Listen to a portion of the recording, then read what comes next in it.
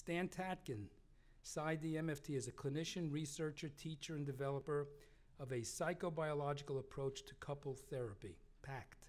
He has a clinical practice in Calabasas and developed the PACT Institute for the purpose of training other psychotherapists to use this method in their clinical practice.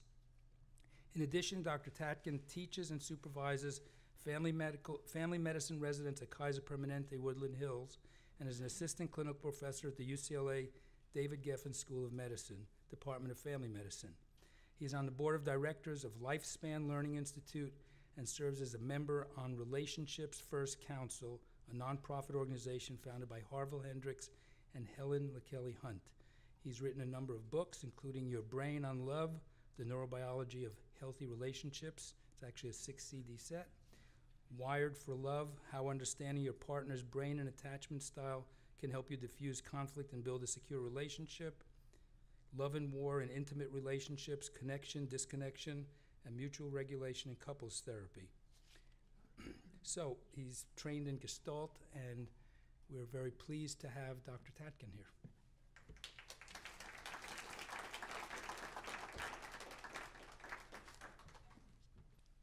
How many people here work with couples? Oh, good. Great. How many of the, you love working with couples? good. All right, that's, that's, that's good to know. All right, so um, th- uh, this is a, uh, uh, a polytheoretical nonlinear approach uh, to working with couples or individuals or groups or families or ducks or dogs. Um, and um, uh, let me just tell you my background uh, in addiction. Just it's a short cred list. Uh, I uh, was one of the original um, uh, lead therapist for John Bradshaw back in the day, uh, when there was such a thing as codependency, hospitalization for codependency. Um, that was that ended, as you probably know. Uh, and so did, uh, so did uh, dedicated programs for drug and alcohol, mostly dual diagnosis after that. And so I was, uh, um, I was there through three hospitals with Bradshaw, and then I became director of Charter Hospital's intensive outpatient program until it closed. Um, I kind of have this, this uh, thing, I'm not sure, uh, where every hospital I've worked has closed. Uh, uh, I'm not sure that there's a connection there. Uh, I'm still at Kaiser, and I've been working with family medicine residents for 20 years now, um, and that's been a sheer pleasure. So I wanted uh, to talk a bit about addictions as something um, more complex uh, uh, than maybe has been talked about, maybe not. Um, addiction as being only part of the problem, um, get into a little bit of the neurobiology of addiction, which you probably already know about. Attachment predictions for addiction, uh, and we could spend a lot longer on that. Arousal regulation predilections for addiction. Uh, that's another piece here in terms of arousal uh, states and arousal strategies for self care. And then treatment strategies for dealing with addiction in couple therapy. And it, it turns out a lot of good data uh, that couple therapy is um, one of the best modalities for treating addiction. Uh, uh, so addiction only part of the problem. Um, I'm acknowledging uh, the, the, strong role of the mesolimbic area, the ventral te- uh, tegmental uh, area, the nucleus accumbens, and basically the reward um, uh, tract. Uh, and genetics, uh, the diathesis of addiction, having a genetic component, but also an environmental stress component. Um, and also, uh, it, reaches back into attachment and arousal regulation in terms of managing oneself. And I will get to the four uh, arousal uh, strategies as we move along here. So, um, uh, again, mesolimbic structures, uh, particularly uh, dopamine and the GABA system. Um, I'm also going to cover just a little bit the ventral medial prefrontal cortex um, uh, the dorsolateral um, prefrontal cortex and its role in uh, dealing with addictions and uh, bending reality and also the reality ego. And the temporal uh, uh, parietal junction, just a little bit having to do uh, now with theory of mind. So, master regulators in terms of error and error correction um, um are many. um, higher cortical regions, the anterior cingulate, the anterior insula, um, the ventral medial prefrontal bundle, um, and uh, the orbitofrontal area, which is part of that, um, and the dorsolateral. Um, these are areas that are, um, are known to uh, up and down regulate lower limbic structures, but also um, uh, allow us to do things that are penny wise, pound foolish, um, and allow us to bend reality uh, in a, a, manner that is uh, consistent with a pleasure seeking or pain avoiding ego. So here, um, uh, I don't have a video, I don't know why that's there. This is an old slide. Um, but uh, I, you know, I'm going to pass on this because I think most everybody really understands. Probably, uh, if uh, all of you are uh, involved in addiction medicine, how many people are not? Oh, okay, all right. So, uh, so you know, with with behavioral addictions and uh, substance use, there is a, a, role in this mesolimbic area, um, the reward circuit, that engages uh, when, uh, when people are experiencing extraordinary um, uh, levels of excitement, dopaminergic excitement, but also anxiolytic effects of the GABA system. And, uh, and that is a really cool experience. Um, everybody in this room has had it. Uh, if you've fallen in love, that uh, the very same circuit is employed. Um, and actually, part of a problem with opiate use is there's a massive downregulation of dopamine receptors, and uh, people who are um, who are strong opiate users actually have a hard time falling in love. Actually, have a hard time feeling love because of the downregulation of that system, and uh, and the replacement of that experience through the use of drugs. So uh, this will happen uh, in any uh, sense with uh, uh, anything from late night eating to my favorite, ice cream, drugs, alcohol, pornography, gambling, you name it, anything can become an addiction. And, um, but there's a role here also of the, the ventral medial prefrontal cortex um, in uh, playing uh, a part in uh, being hijacked by lower limbic circuits, lower limbic areas. And that becomes a problem when you have a uh, uh, uh, sort of an ambassador in the brain sense, an ambassador system that, that is a master regulator, error corrector, and predictor being co opted by limbic areas. Um, and we may convince ourselves that what we are doing is good um, this part of the addiction cycle. This is a good idea to eat this ice cream uh, just before going to bed. Uh, only to wake up the next morning and realize that was a big mistake. So th- we have a problem of frontal areas being uh, hijacked by uh, lower limbic circuits. And this is true, by the way, of all acting out. Uh, acting out plays a huge role in all of therapy, more than people probably realize. And uh, the acting out behavior is a kind of reward in that I do something to feel better at the cost of getting better. Uh, I am impulsively driven to uh, relieve pain in the moment or to seek pleasure, and that, uh, that allows me to bend reality, which, of course, has consequences such as becoming more and more crazy. Uh, there's no free lunch, right? Uh, the more that I bend reality, act out, the, uh, the lesser hold I have on a reality ego that allows me to do the right thing. And in this case, I'm pointing to the dorsolateral prefrontal cortex, which, by the way, is compromised by certain sugars and fats, fats like junk food, uh, drugs, and alcohol, compromised. And so that is the do the right thing area. Uh, where it overrides uh, this uh, uh, feeling of wanting to do something uh, and not looking forward to what is the right thing or the best thing to do for myself. That is our discipline, that is our, uh, our being able to think ahead. And of course, a strong reality ego, executive function, is seminal to having a real self uh, with healthy self entitlements, being able to plan ahead, to be able to put off rewards for something bigger um, and uh, you know that is part of the holding and waiting system. All right, so moving right along, let me talk about attachment predilections. So, um, attachment uh, here there's a nautical theme because in the second book I changed the attachment uh, uh, designations, which is, uh, are not really pleasant for a lot of uh, folks in, in the lay world. Um, change it to nautical theme. So instead of having avoidant, derogating, dismissive uh, attachment organizations, we're just calling them islands. Um, and instead of being secure autonomous, we're calling those anchors. And instead of being angry resistant, which is not really pleasant um, and hard to say really fast, um, and hard to say if you're doing ishy stuff, like, you know, the person is islandish. Well, if they're angry, resistant ish, that's hard. It doesn't really roll off the tongue. So instead of saying ambivalent, anxious, ambivalent, that's Ainsworth stuff, angry, resistant, that's mine and, uh, uh, and Mary Main's. Um, or, uh, uh you know, just plain difficult. Um, we're calling them waves. Um, now, I just want to say that one of the things I always tell people that everyone is difficult. There is no such thing as a low maintenance person up close. That low maintenance person is going to be high maintenance real soon. Um, everybody is annoying. Um, uh, everyone is a pain in the ass. People are a burden.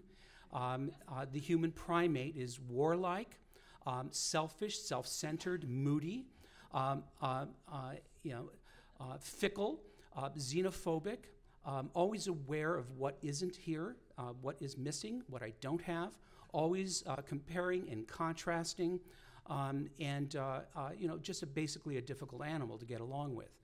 And so, one of the ways we actually get along is through through some kind of social contract, um, where we make agreements. Um, uh, that let's not do these things. Um, I want to live, so thou shalt not kill um, it won't work if I say, if I'm in the mood. Um, let's just hold to that and we'll all feel safe. So, um, since a couple is the smallest unit of a society, it has to also operate by rules of social justice. That means that partners enter into an agreement that protects, or a series of agreements based on principles that protect them from each other, from each other, uh, and then also from everyone else. So, Waves are people on the clinging side of attachment, clinging side. These are people who uh, were raised uh, in a manner that made them insecure about their primary objects or primary attachment figures. And usually, that figure that is most primary encouraged dependency, encouraged clinging, was alternately. Uh, uh, you know, good with proximity seeking and contact maintenance, and then rejecting uh, unavailable, preoccupied, maybe poorly self regulated, depressed, um, angry. So, this kind of parenting style often gives way to a, uh, a child that is uh, a wave or that is angry resistant. Uh, and, and, this is an, a natural outcome of adapting to the environment the child is born into, right? We're just looking at adaptation here, not pathology. So this person uh, adapts in a way that makes them um, afraid, uh, uh, because of their memory of, of relational trauma, afraid of abandonment, afraid of exquisitely sensitive to any kind of withdrawal, um, very afraid of rejection, concerned that they are a burden, too needy, um, and negativistic uh, in the sense that, if you follow Ronald Fairbairn's work, uh, they have a huge antilibidinal ego that, uh, that predicts failure and thereby makes it happen. Um, they will thwart anything positive uh, in order to push it away to save themselves, spare themselves the anticipated threat that is their experience. So these folks are negativistic, they pull you toward and then push you away. They become ambivalent, deeply ambivalent at the point of feeling hope um, they're allergic to hope, um, and that makes them difficult to navigate in, in, the relational world, especially in the romantic, committed relational world. Um, these people are more likely to use drugs and alcohol, particularly alcohol, um, as a way of, uh, of helping uh, them calm down. Um, and in some ways, uh, and sometimes uh, be disinhibited or to help themselves with social anxiety. Um, alcohol is often a drug of choice, but so are opiates, uh, benzodiazepines. Um, all of these uh, serve to be a, a self regulatory function that, uh, that uh, is used in these, uh, as a substitute for interaction with a person, right? So when we think of regulation, um, uh, co regulation, the, the management of states uh, by uh, the, the, a mutual process that is face to face, eye to eye, and skin to skin, that should actually change uh, our state and, and do what medicine or drugs and alcohol would do uh, if that relationship were well attuned um, and fully engaged. Uh, then there would be uh, theoretically less need to go to substances and behaviors to shortcut that system.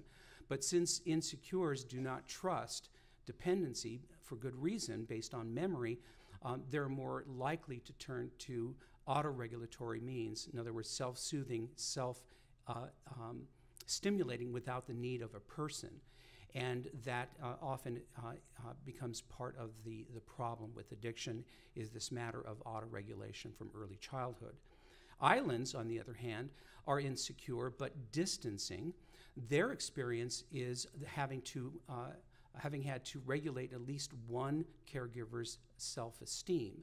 They were rewarded for being independent, basically not being needy and uh, doing things on their own. And so they get it really, uh, real early that uh, in this family there uh, there is low value for attachment principles. There's low contact maintenance, low amounts of uh, proximity seeking, and there's a definite bias towards uh, performance and appearance. And here we, you know, you might be hearing that on the extreme ends of the clinging group and the distancing group, there's a boundary uh, which is crossed into disorders of the self or personality disorders. So I'm not going to talk about personality disorders today, although they're an important population, as is uh, disorganized folks. Disorganized uh, people um, are divided into several groups, but functionally, um, they are uh, unpredictable uh, based on their experience, which is an extraordinary, um, incalculable sometimes experience of, of uh, uh loss and, uh, uh, and trauma that has not been regulated in a timely fashion by an adult.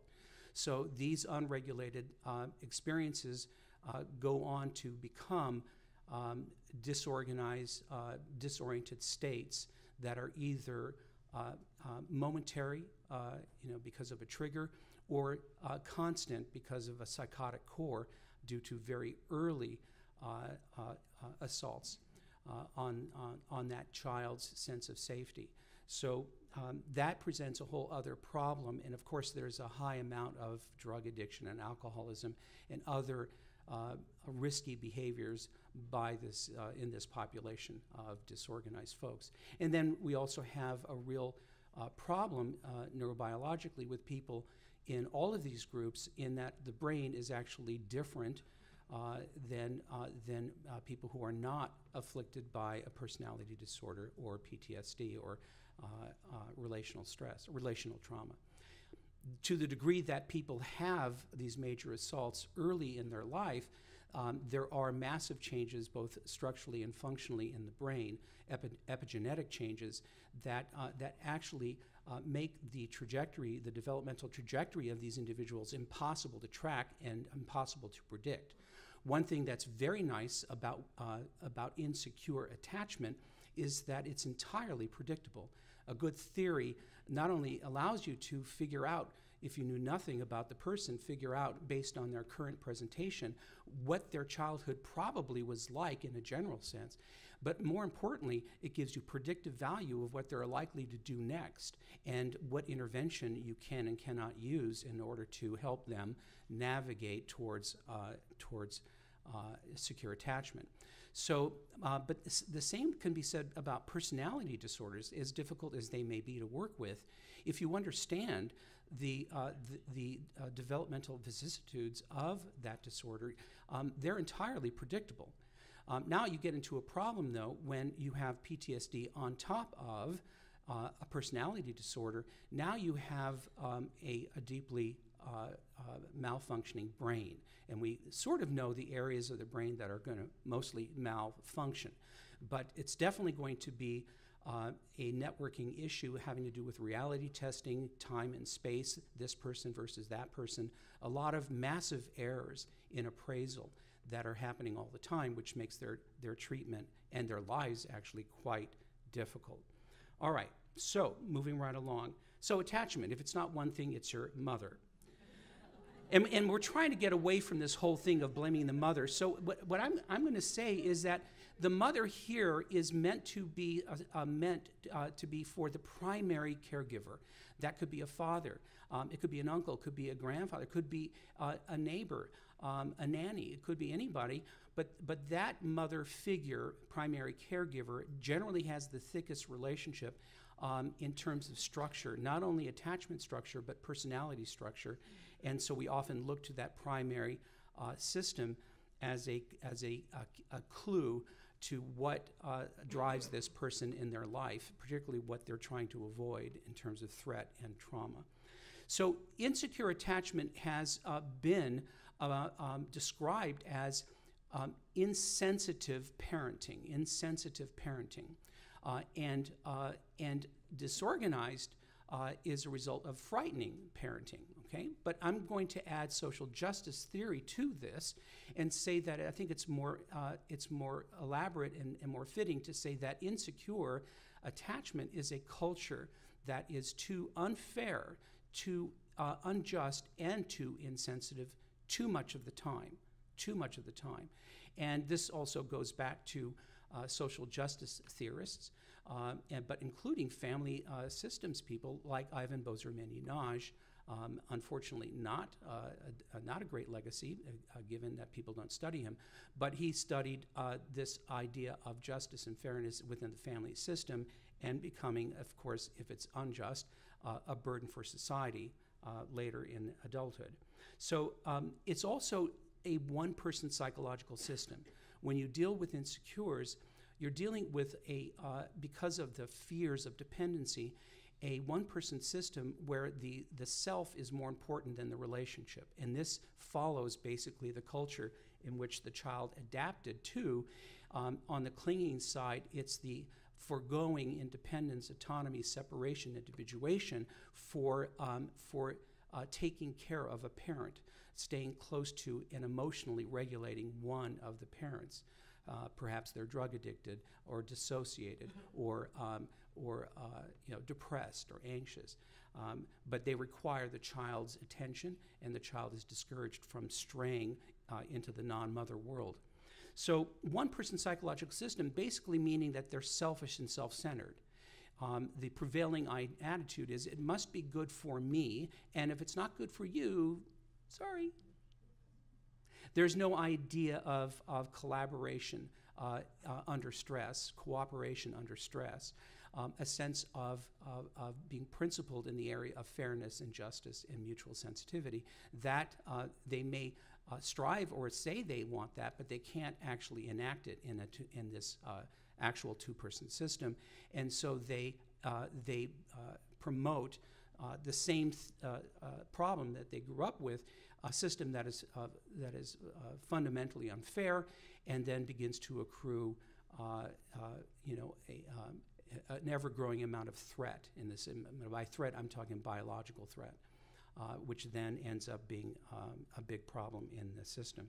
So, by definition, or by contrast, secure systems are uh, two person oriented. Um, uh, in object relations, we're talking about object constancy, whole object relations. Uh, we're talking about people who are differentiated, people who are individuated and fully separated. I'm here, I'm crossing different lines of theories to give you different language. Um, but these people, you know, uh, uh, also may be deemed as psychoneurotic, uh, certainly not personality disordered. So, um, and they generally start early, um, in, early in childhood as being secure, but they can earn their security throughout their lives because the attachment system is actually quite plastic.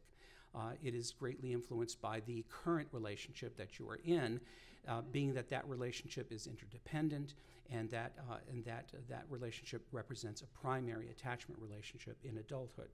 All right. So the signal response system, very important. You might think of it as the sort of the basic uh, cellular components of attachment. Um, I signal and uh, I signal for your attention, uh, parent, uh, partner, and uh, that may be verbal or nonverbal. Of course, as an infant, it's nonverbal.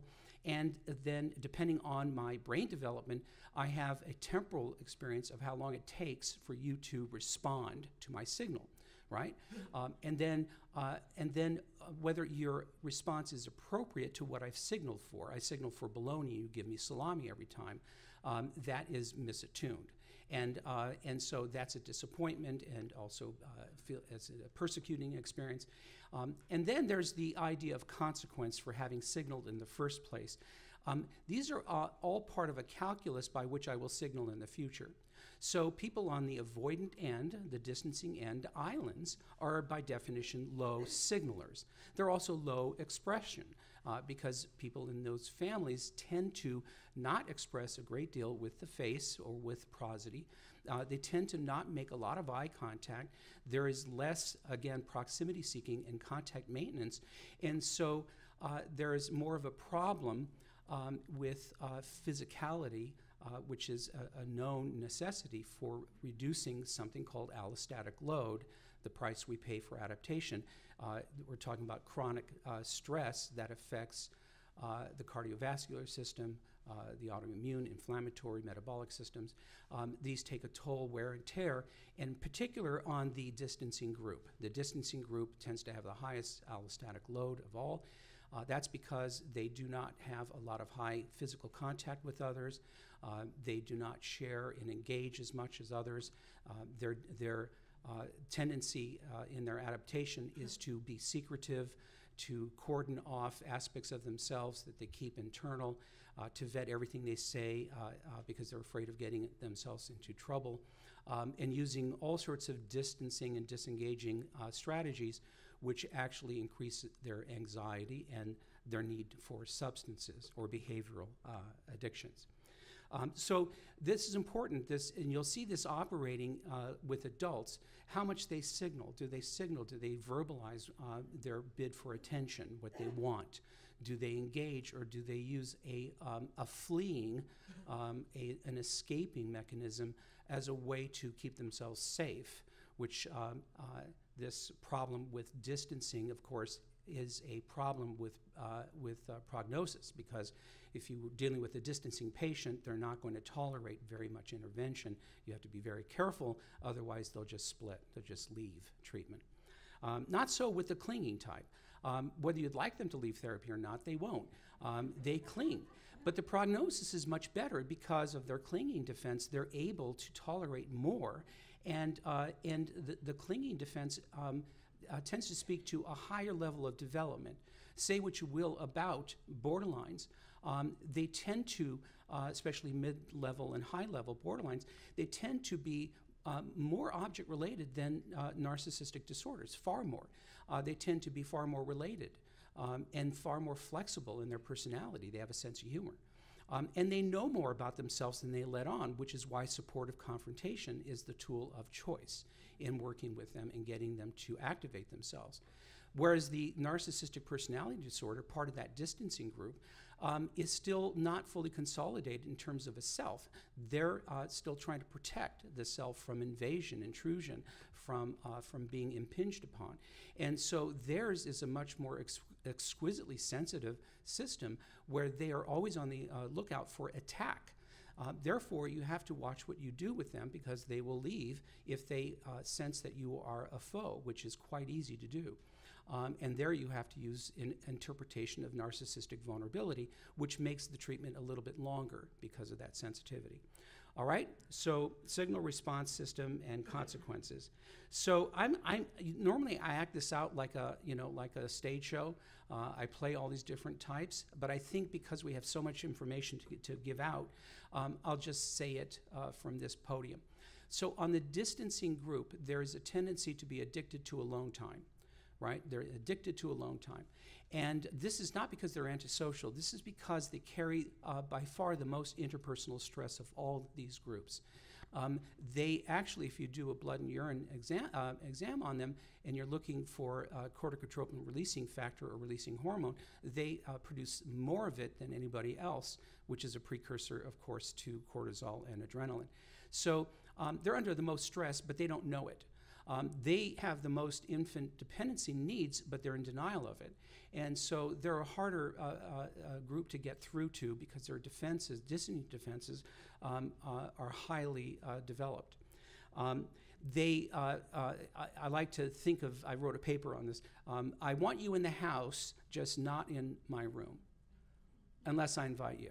That is, in a, in a nutshell, the island. Okay, I want you in the house. I can't function if you're out of the house. If you were to leave me, I wouldn't be able to function because my energy is derived from a fantasy that you're always going to be there. And that is a fantasy that we know is present in the practicing period of, uh, of toddlerhood. So there's this fantasy of one mindedness. We should have the same thoughts, same intentions, uh, and, and, the same um, feelings. And when we don't, I feel attacked. So um, the avoidant, uh, like I said, is secretive. Uh, they appear more deceptive. They use a lot more deceptive uh, markers uh, than anybody else. Um, um, they, uh, in terms of Grice's maxims, they violate principles of quantity and quality. Uh, they mislead. They give you too little information. Yep, nope. They have poor memory because one of their defenses is to forget. Um, they tend to idealize their past uh, and make it whitewashed uh, with little or no detail and no, uh, no autobiographical memory of, of them having been in those memories. Um, and this is a defense. Or if, it's, if the relationship has been so horrible, then they have bumper sticker statements like, you just pull yourself up with the bootstraps, or, you know, um, everyone has a hard life. In other words, they're dismissive in every way. Um, uh, think of uh, the island as Don Draper. You know, you just move forward. Let's not look back. Okay, so I murdered somebody, but you just move forward. Um, you know, uh, tomorrow will be another day, uh, Scarlett O'Hara.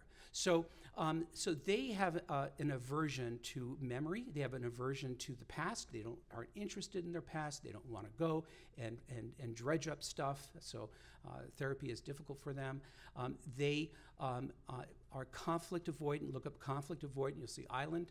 Uh, they're by definition. Um, passive aggressive. They cannot be aggressive unless they're cornered. So they will be dismissive, devaluing. Uh, they'll avoid, they will comply as a major defense. Um, they will pretend not to hear. Uh, they will do all those things, um, but if cornered, they will attack. Okay, so the island is not happy. they may seem that way, but it's not a, a, pleasant place to be uh, because they're always alone. They're internal. They, calcu- they calculate everything inside. They don't go out for help. They don't, uh, they don't reveal themselves.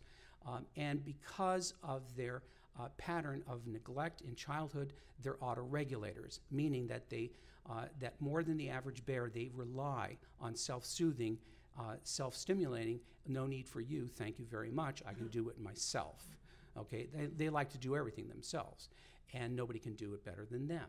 So it, it sounds terrible, but these are uh, wonderful people who are um, relying uh, on uh, linear thinking of logic and reason, whereas the people in the clinging group, because of their development, tend to be over reliant on meaning and emotion. Meaning and emotion. And you get these two together, and you have quite a problem because they see the world through a different lens. They process information quite differently, one inductive, the other deductive.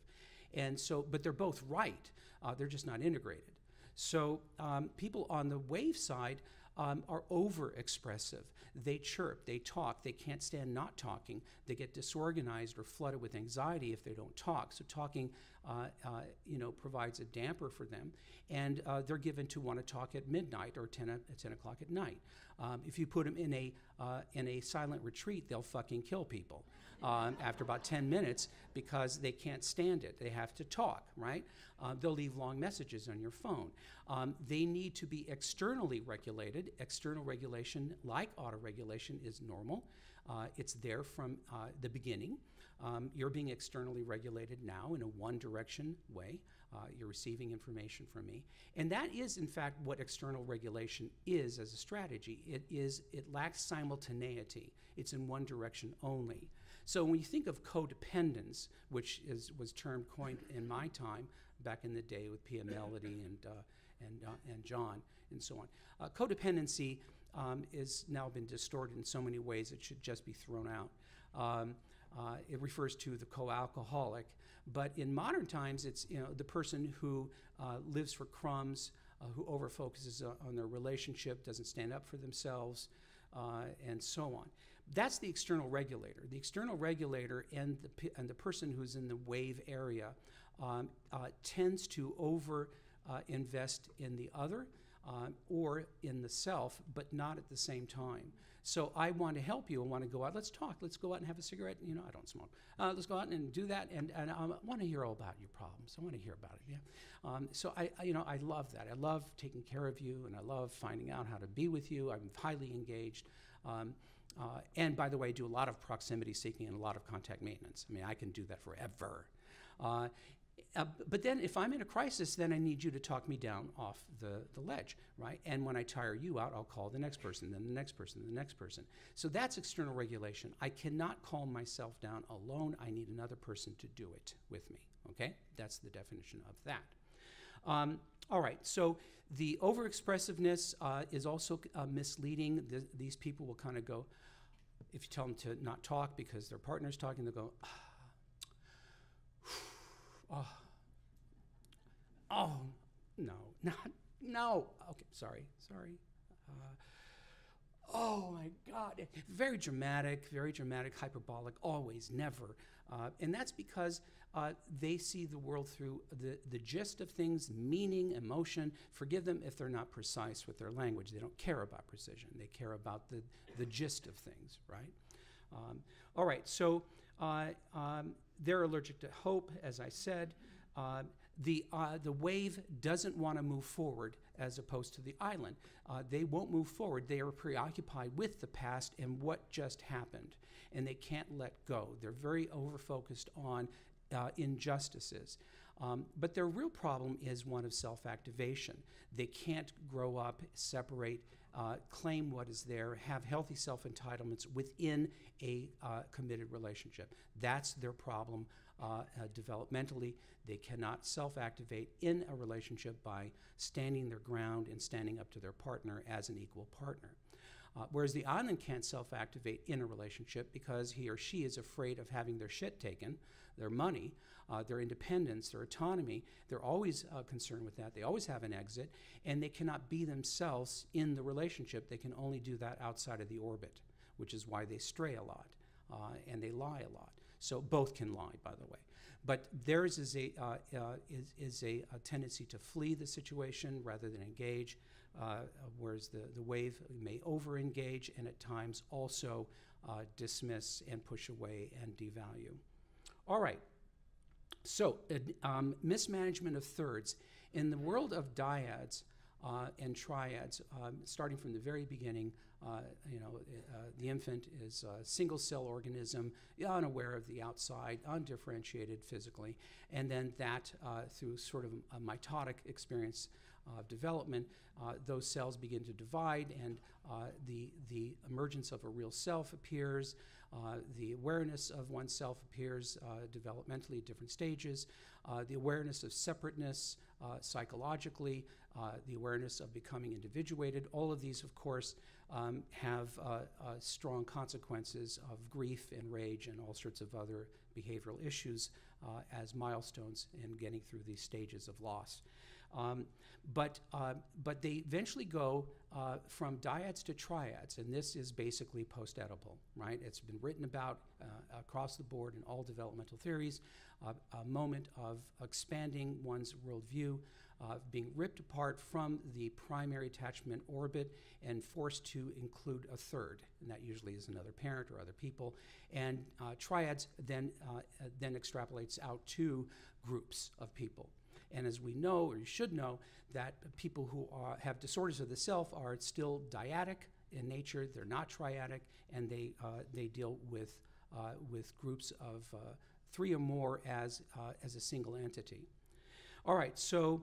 Um, uh, a third in a uh, in a primary attachment relationship, whether you're in the West or you're in some other culture that is polygamous, there's always a primary.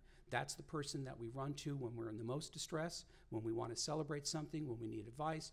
There's that primary that we go to. We don't go to everybody um, unless there's been a problem in infancy.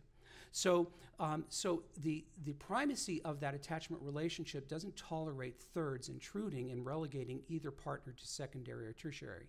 That causes a problem in the attachment uh, uh, uh, integrity and the safety and security system. So, um, secure functioning partners Secure functioning meaning they are a two person psychological system uh, engaged in full mutuality, uh, co- cooperation, collaboration, good for me, good for you, right? Good for me, good for you. Um, these folks uh, manage thirds effectively uh, without disturbing uh, the, uh, the, the integrity of the primary system and without allowing third things, third people, third tasks to steal resources uh, that are valuable from the dyadic system. That would include children, um, uh, stepchildren, drugs, alcohol, pornography, um, mothers, uh, bosses, work. Um, those are all thirds. Anything outside of the orbit of the dyad is considered a third. Well, addiction is an intrusive third. Um, it's only an intrusive third if the other partner complains about it. So I've had some barfly couples, and they're just fine with their drug addiction and their alcoholism. They're coming in for something else. And so I can't really touch it. I can comment on my fear that they're safe. Um, I can do that. But if it's not a problem uh, between them, then uh, it's, it's, uh, it's something I can't do anything about until I collect enough data uh, to find something that truly does point to the drug use that is causing a, breach in the safety and security system. And there always is. There, uh, that always will come about. I just have to wait uh, to prove it. Um, but it is, uh, it is an intrusion or it, it is mismanagement of third if a partner complains about it. And the complaint isn't simply, I come from an alcoholic family, I don't like uh, you doing that, I am against that, I disapprove. Um, that is important, uh, but more compelling, I don't like the way you become. I don't like that I lose you. I don't like that you become a whole different person. I don't like that you are spending more time doing your thing than being with me. Um, I am jealous of this thing in the, in the appropriate sense. Uh, it's taking from me.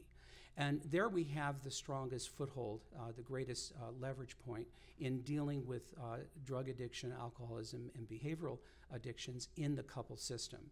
Uh, the couple therapist will make a mistake if he or she uh, puts on their drug and alcohol counselor hat and try to intervene on the part of the other partner. Anytime you're doing another partner's bidding, you're fucked.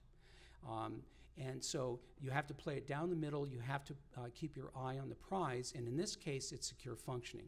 Secure functioning is that whatever you guys do, you agree and you can argue as to why this thing is good for me and you. In other words, it has to be uh, argued in a complex manner um, why uh, doing this serves both a personal and a mutual good in a compelling way. Otherwise, it can't work. It's not secure functioning. That's how I stay out of judging whether people want to sleep with goats or not. Um, if they want to and they think it's a good thing and the goat is of age, then, uh, and they can argue why it serves a personal and mutual good, uh, bless them, uh, fine, uh, uh, uh, but let's see what happens. The same with polyamory or anything else that they come up with. So, secure functioning and working towards that end um, means that there are certain things we are looking for the couple that we expect and that the couple must be in reality. Reality being the safest mother. They cannot bend reality. They cannot hide. They cannot pretend. They cannot deceive. We have tools for that to smoke people out. Um, uh, PACT is a highly, highly strategic approach. Um, and so we, uh, we can corner people, trick people, set them up, um, uh, make it so they can't do anything other than expose themselves without our fingerprints on it. That's the skill. Without, uh, without uh, uh, implicating ourselves, these are strategic uh, ways of dealing with this matter, and that's how we get people to come out of the darkness and to show up because that's the only way we can actually work with people. basically, the uh, you know, the, the, order here is uh, the triage is emergency issues, of course, come first, um, and then dealing with acting out, which is almost every couple that comes. Uh, you know, teaching therapists to know to notice acting out and know that this is not therapy, this is not a therapeutic alliance, this is acting out, uh, and that you have to use a different tool set in order to work with that and to stop it, uh, because um, we have a saying uh, acting out does not ser- deserve therapy. You do not uh, reward uh, acting out with therapy. So it's a whole different way of working to get them on, bar- on board in therapy that could take a while. But then the other problem is getting them to be true, truthful with themselves, with each other, and to say what's true unequivocally uh, without using languaging that is deceptive uh, or incoherent, misleading, um, uh, deflecting, contradicting, anything that shows that the person uh, is, uh, is using that as a defense to hide something. So um, that's another level of before getting to real work with a couple, and that in itself um, is a lot of work, right? A lot of work. Stopping acting out, getting them on board, and then getting them to show up uh, in a way that is true. Uh, and of course, we want fully uh, differentiated, individuated uh, people um, who are able to make chess moves with each other based on visibility rather than cloaking themselves uh, and hazing the field. And uh, they're, they're there, and then they're in another place, and then they're in another place. Um, you can't possibly make any moves if you don't know um, where the other person stands. So, um, um, all right, so definitely uh, mismanagement of thirds affects the safety and security system. It will eventually blow up the relationship in any case. Um, it's fair game if and only if the non addicted partner has a problem with the addicted partner's behavior, and that's what we're always listening for, again, as a wedge issue uh, um, uh, that is down the middle, uh, having to do with I don't care that you're drinking, it, I don't have a problem with it, I couldn't care less. Your partner does, though. And that's what you're going to have to deal with. Deal with her, deal with him. Uh, and that allows me to, uh, to stay back as an audience member and not show my cards in terms of preference. Uh, and, uh, and it works out much, much, much better that way. I've never uh, not been able to get to lies or deception, secrets, uh, addictive problems um, uh, uh, that didn't, that now do not blow back on me because of the way I play it. If I were to play it as a drug counselor, I would lose the patient, the patient being the couple. And I don't want to do that. All right, so nervous system regulation. Here we're talking about the preparatory anticipatory systems, which include, not limited to, uh, uh, the, the neuroendocrine stress system, the HPA, uh, the vagal system in the back, uh, and also uh, the um, uh, prefrontal cortex, particularly the ventral medial area. Um, and so we have people that are basically um, have problems in arousal regulation. Uh, some of those who are disorganized have an, uh, what's called an uncoupled uh, uh, autonomic nervous system uh, that is prone to biphasic reactivity, a kind of swinging back and forth between hyperarousal and hypoarousal. It's usually when they're in the face of some unresolved trauma, memory, or loss memory. Uh, but there are people who are airplanes, for lack of a, a better term. Uh, these are people who are biased at the high end of the sympathetic range.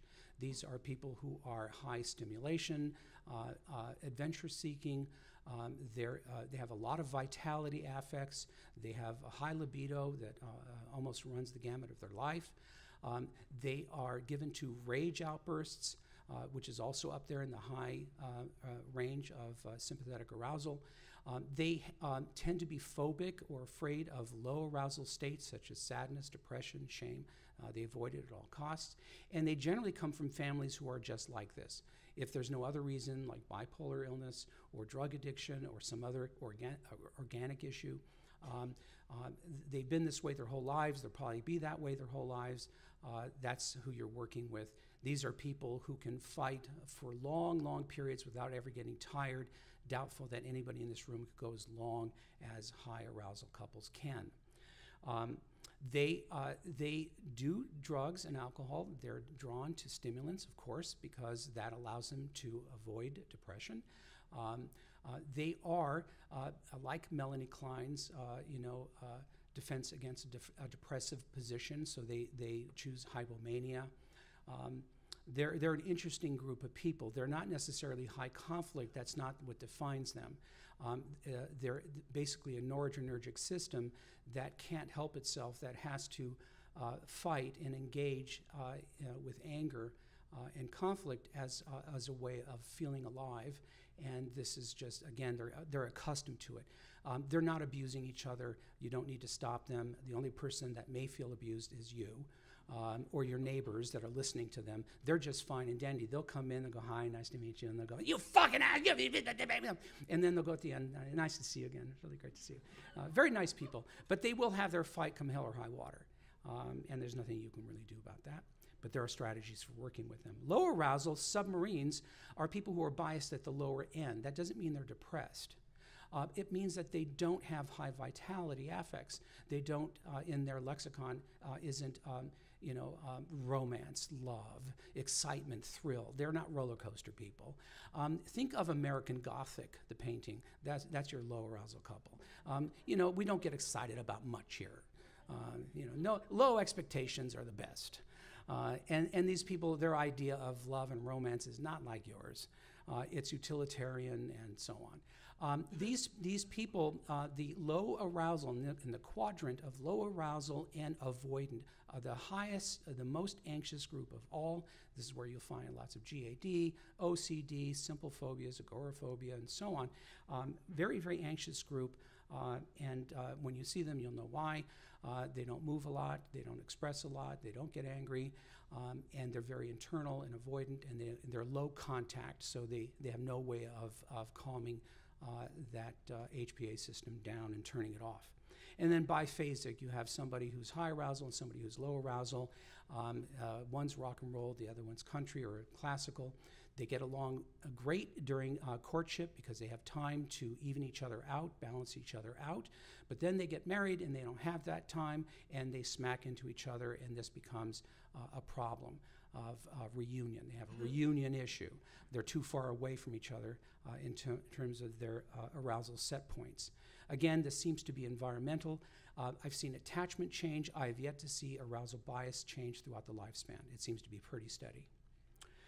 All right. Uh, do you really need MacLean's triune brain? Okay, let's do it. All right. So um, uh, MacLean uh, his triune brain, it's quite simple, a little overly simple, but it's good for our purpose.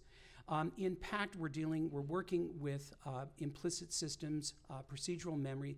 Um, those are known. Those subcortical uh, processes are uh, are fairly non-plastic, hard to change. resilient and under stress, they're the only ones online uh, because higher cortical areas require much more oxygen and glucose to run. And so uh, uh, it's always going to go to the primitives, uh, lower subcortical regions. To save the day and to get you through a dangerous situation, but also wreaks havoc in love relationships because we tend to shoot first and ask questions later with this area of the brain. Um, we are targeting in PACT the, uh, the lower areas uh, um, uh, brainstem and also lower limbic circuit. Uh, that's where we're going for, and so we use a lot of staging techniques, psychodramatic techniques, surprise, crazy stuff, weird, offbeat, silly, unexpected uh, things uh, to uh, to get at these repetitive somatic reactions that we can actually rely on because we know that narratives fail narratives lie. We can't really rely on narratives hardly ever. Uh, that gets to another issue here. Um, real time is too fast. Uh, and because real time is too fast, we mostly don't know what we are doing at any given moment and why. That is just a fact. Uh, about 90% of our day is fully automatic, run by procedural memory, recognition. Uh, these are uh, uh low resource areas that uh, allow you to do your day without much stress. Uh, you're able to drive your car, paint your nails, talk on the phone, do all those things. Of course, when you first learn it, you can't. Uh, more of the brain is online. Novelty will do that, uh, which is why the beginning of a relationship um, is like a drug addiction. You are on drugs. Uh, you meet that new person, they're novel, uh, the brain loves novelty, uh, everything is engaged. Uh, you are attentive, you are present, you want to know everything about this person, you want to taste them, you want to touch them, you want to smell them, you want to do everything, and then you automate them, and they automate you, like you're going to do everything, right? And now, uh, now you you're, you're done with that, and you think you know them, and this is where the problem begins. Because we're memory animals, most everything we do is by memory. The primary attachment system uh, has a very, very long memory um, because partners are proxies for everybody who came before. Um, it is most like the earliest uh, relationship, um, uh, earliest relationship between caregiver and child.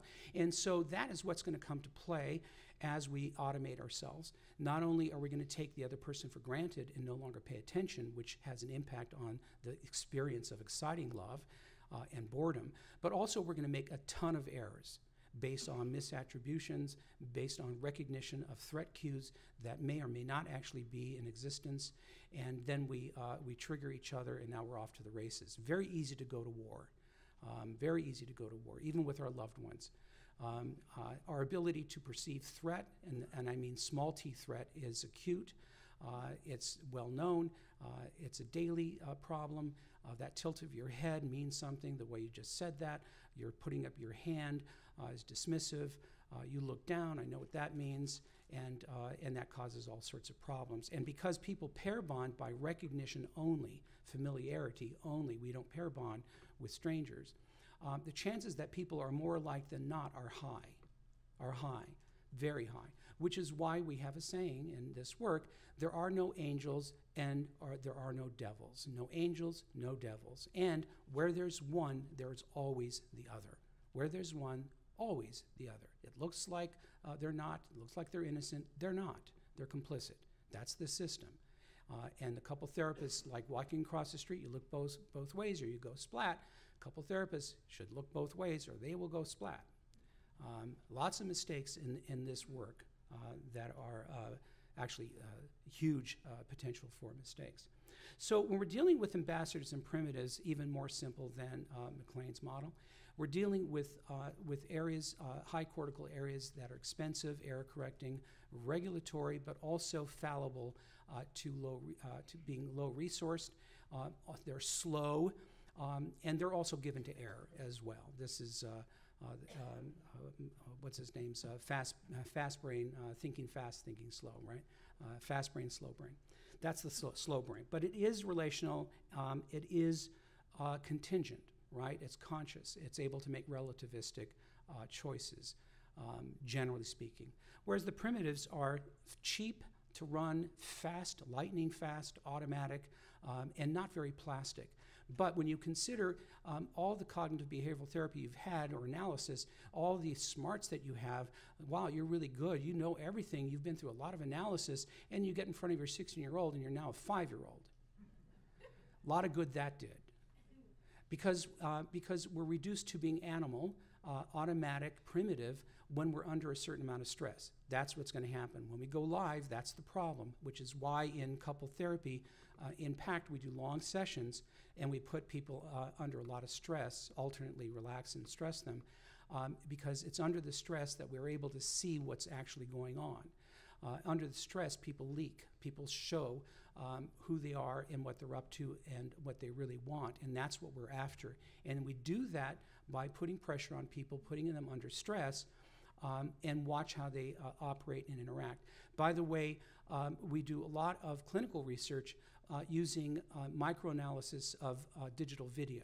So, uh, you know, years and years of, of, videotaping couples, watching their micro expressions, micro movements, uh, use of vocal changes, um, uh, studying that frame by frame in slow motion, reverse, and double speed really gives us a lot of insight into the human animal and in that environment of the love relationship. So, this is what we study.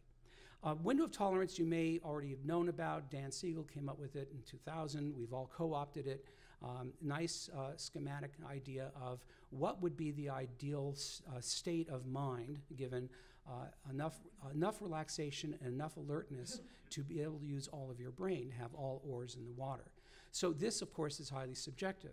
Your window of tolerance or optimal range um, uh, depends on your own development, your own ability to hold and wait, your own ability to regulate yourself, but also things like how much sleep you've had, whether you're eating properly, getting enough exercise, whether you're in physical pain. Uh, all of those will affect window of tolerance. Now, with patients, it doesn't matter because we're going to dysregulate our couples anyway. That's, uh, uh, that's how we actually work with them. We have to dysregulate them in order to work with the, uh, that memory system, which is driven by state. State drives memory, memory drives state, and state alters perception. That's the system we're dealing with. In order to get to the real problem, we have to make them go live, and so we're going to uh, we're going to tip them over in some manner uh, to, uh, to get that going so we can work with that. However, the therapist should not go out of window of tolerance. Um, if you go out of window of tolerance, if you become hyper aroused, uh, you engage a hypothalamic system of fight or flight and you're going to act out countertransference. That's the problem. You start to uh, move too fast, you're not aware of your own blood pressure, muscle tension, your heart rate, and now you're going to do something stupid. And it seemed like a really good idea, and as it dawns on you, you go, oh shit, that was not good. That's because you did what everyone does you operate uh, automatically, impulsively uh, from that hypothalamic system. Uh, just the same, if you drop and get too uh, low, you lose your alertness and you start dreaming with your patient. Uh, you start, you know, saying things that don't make any sense, uh, and you lose consciousness.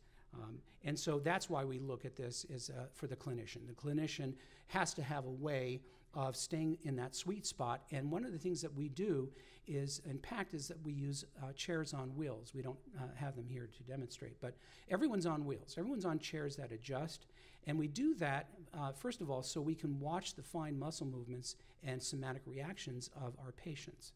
They're able to move and adjust themselves vis a vis each other and me, the therapist. And uh, I'm able to manipulate their positions for, uh, for uh, effect, uh, but I'm also able to regulate myself by where I roll. I'm able to regulate them by how I roll, how I tilt my head, how I move up or down in the chair. Um, I'm able to move back far to get sort of a, a, a wide angle lens of them, which changes my state and my perspective if I need to, so I can be an audience. Uh, to the couple and not be, uh, you know, uh, embedded in the system. Uh, or I can move very close to anchor something uh, or to downregulate a partner. So this movability, most everybody that I've worked with and, uh, and, and, that is a student of mine will attest to this, that once you go on wheels, you never go back. And then you'll wonder why we ever came up with static furniture in the first place when it comes to therapy. It doesn't make any sense. It doesn't make any sense. People are stuck, and you can't see what they're doing. You can't see their contradictions uh, somatically. And again, we're always looking at what people are doing um, uh, in terms of their pupil size, breathing, skin color, skin tautness in the striated muscles in the face and the arms and the legs, movements, not movements, uh, vocal tone, uh, vocal pressure. All of these things we're monitoring all the time because affect is, uh, is uh, uh, you can be fooled by affect. Um, you can't be fooled by arousal, right? So we're tracking arousal, which gives us a sense also of affect. That's where we're looking, and people can't hide that. They can't hide. Um, we can always do something that, uh, that is evocative, provocative, and then we watch and see what their bodies do. Therein lies the truth. Therein lies where people really are because people lie. People not only lie, but because I said real time is too fast and we don't know what we're doing half the time, when asked, we make shit up we confabulate. Most of the time, we're making shit up. Most of the time, we are filling in blanks. That's what the brain does. It fills in blanks. Uh, it needs organization. If you ask me a question, I'm going to come up with a reason. Of course, I just read it in Reader's Digest. I have no idea what I'm talking about, but it sounds good and gets you off my back. So uh, we have to understand that this is, this is the way we roll. This is how we are.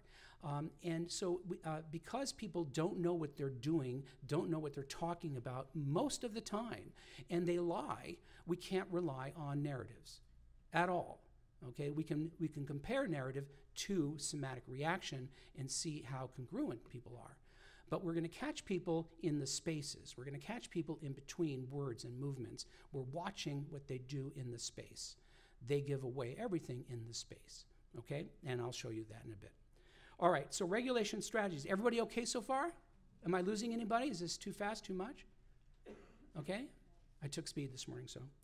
All right, so so uh, so auto regulation normal everyone does it you did it when you know when you were playing with your body playing with yourself proprioception early in childhood um, you know auto regulation uh, self stimulation self soothing i don't need you um, and we do it when we read a book when we see a movie watch television when we uh, masturbate when we uh, you know, some people auto-regulate during sex. Uh, sex addicts always do. Um, uh, and so it, it, it's, it's normal. However, as I said, a certain group of people, particularly those who've been neglected, overuse it, and for good reason. There's a reason why they had to rely on it, because there was nobody to interact with. So, uh, and we're not talking about material neglect, we're talking about functional neglect here in terms on, a, on an attachment level.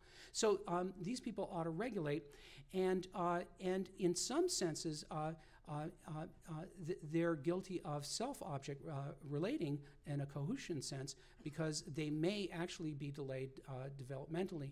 Uh, and they're, uh, they're not personality disorders, but they have a holdover from it uh, whereby they still operate under one mindedness. and also, that means fusion. And also, this idea of um, of, of taking care of the self as opposed to going to another person. Okay, so it becomes problematic. It's automatic. It's they're not. It's not done purposely. It's a, it's a default situation.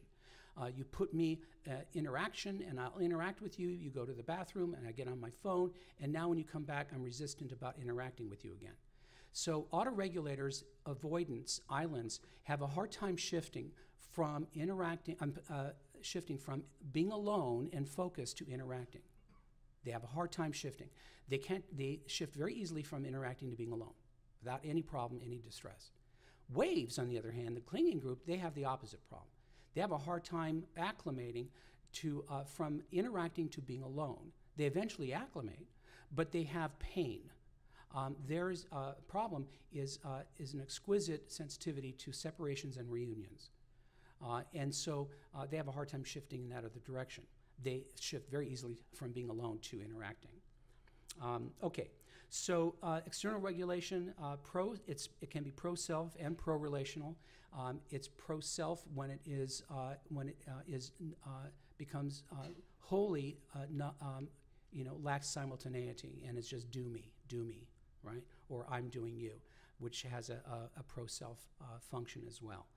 Um, uh, okay, and the, the people who are in the wave area, the clinging group, which includes borderlines, I, I want to just let you know that when I say distancing group and, and, uh, and clinging group, I'm describing uh, a variety of ways of looking at personality and, uh, and organization um, uh, uh, from a variety of different theories, so you can identify with that idea.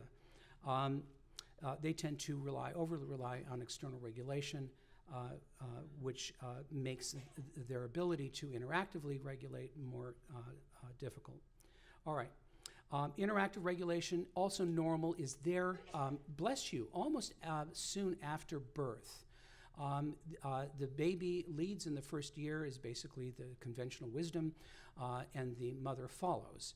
That's the way it goes. In order to find the baby, you have to uh, locate the baby, you have to be willing to uh, be observant, wait, let the baby lead, and this is how you find the baby through reflective function, Fonagy's term, and through presence and attention. But also, um, once the baby uh, starts something and, and the parent is engaged, the outsider cannot tell the difference uh, in terms of who's leading, who's following. So they are interactively regulating. They are interactively regulating. And Melanie Klein recognized this. Everybody has recognized this. Erik Erikson saw this, and so Winnicott saw this. So that's an interactive regulatory function, and it's done face to face, eye to eye. In, in infancy, skin to skin, but in adulthood, eye to eye, and it's straight on, direct, uh, uh, because we're legally blind on the side, uh, because of limitations of the eye. Uh, we have to uh, when regulating each other, we have to be directly in front of each other, facing each other, or we actually become more threatened. Uh, the threat systems are activated more often when we see a face at a, a glance or when it's to our side. So, um, certainly a problem when we're on the phone because we're just relying on prosody, uh, or even worse, when we're texting uh, and emailing, people get into fights over that because they can't. Uh, we're visual animals. In order to uh, in order to reduce the error rate of verbal miscommunication, we need to we need our eyes on the person's mouth and eye, left eye, uh, and so uh, uh anything other than the visual contact, uh, we are given to more errors, um, errors in appraisal, um, and then as our stress goes up, our our number of errors increase, increase. Um, all right.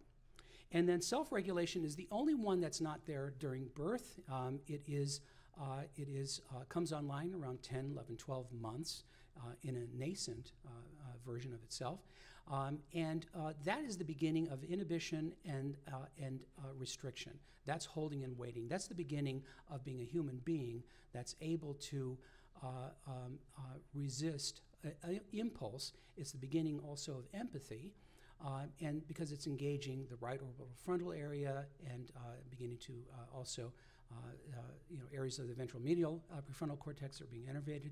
And so uh, the baby is having that function of downregulation, but also in the back of the brain, the 10th cranial nerve, nerve the uh, ventral, uh, I'm sorry, the dorsal motor uh, ventral vagal system, the unmyelinated vagal branch, is also there to provide a certain modicum of vagal brake, braking and um, vagal tone.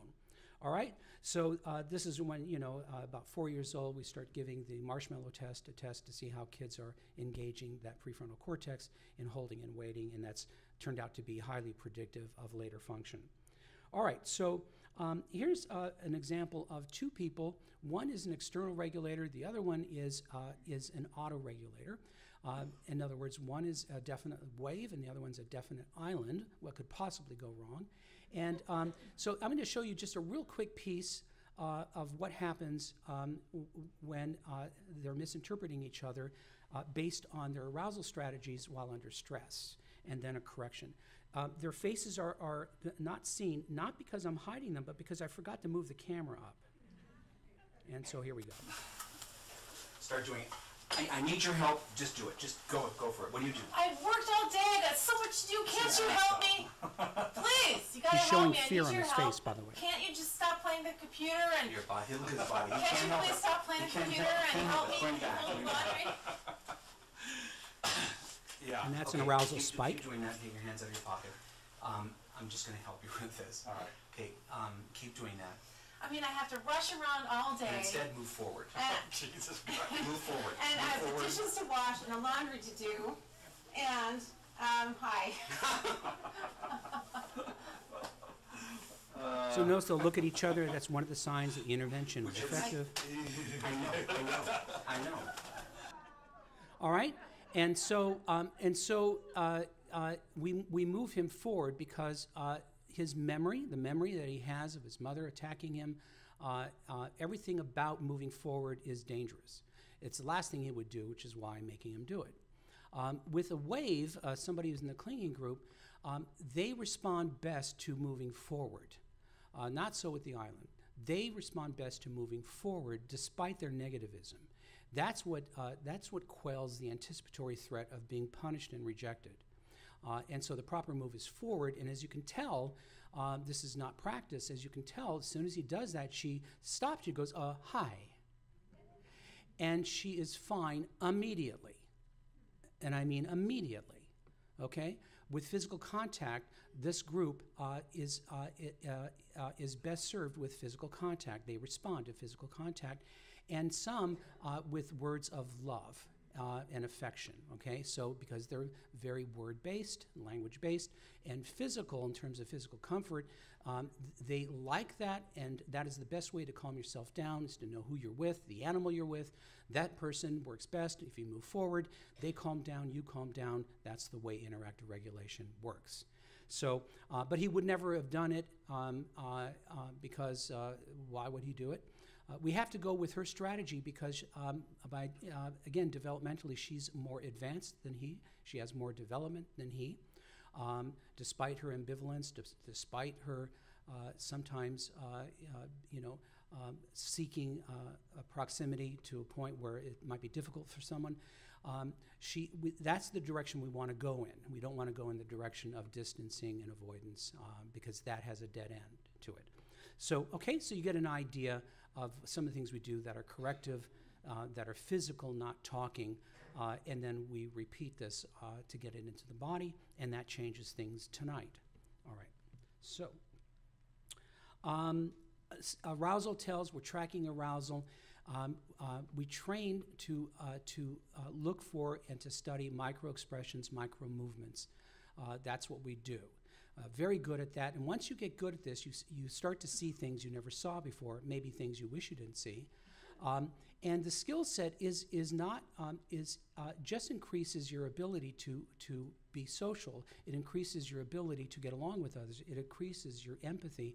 And I'll say something um, the clinician use of outside meditation, which is what we do, uh, we pay ongoing, continuous attention to every detail in the body, every mole, every uh, place where there was a, a, a piercing, um, every scratch, uh, breast implants, hair plugs, uh, Restylane, uh, anything and everything tells us about the person we're with. And so we're, we're trained, uh, we train ourselves and we're trained to notice everything. Um, and that also uh, allows us to track somatic reactions in the body, what people do, don't do.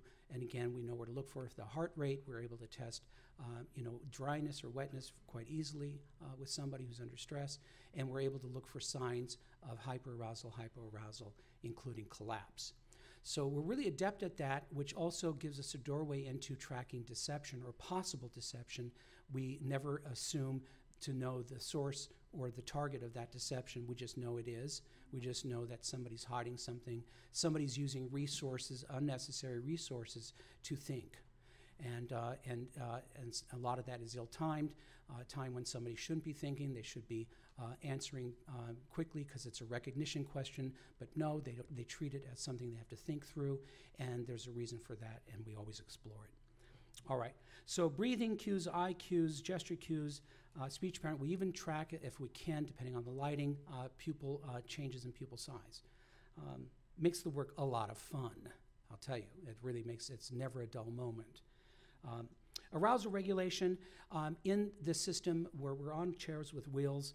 Um, I always make sure that uh, that uh, my relationship with each partner remains in window of tolerance.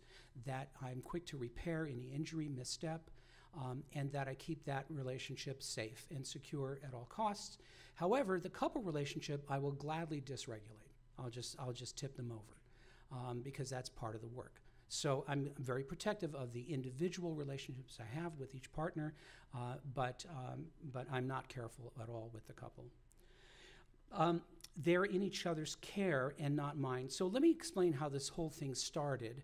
This started uh, because of my fascination not only with my own divorce at the time, because I was deeply depressed and troubled, um, but at the time I was studying infant brain development and I was working uh, with infant mother pairs uh, in the hopes that I could prevent future problems uh, with the infant.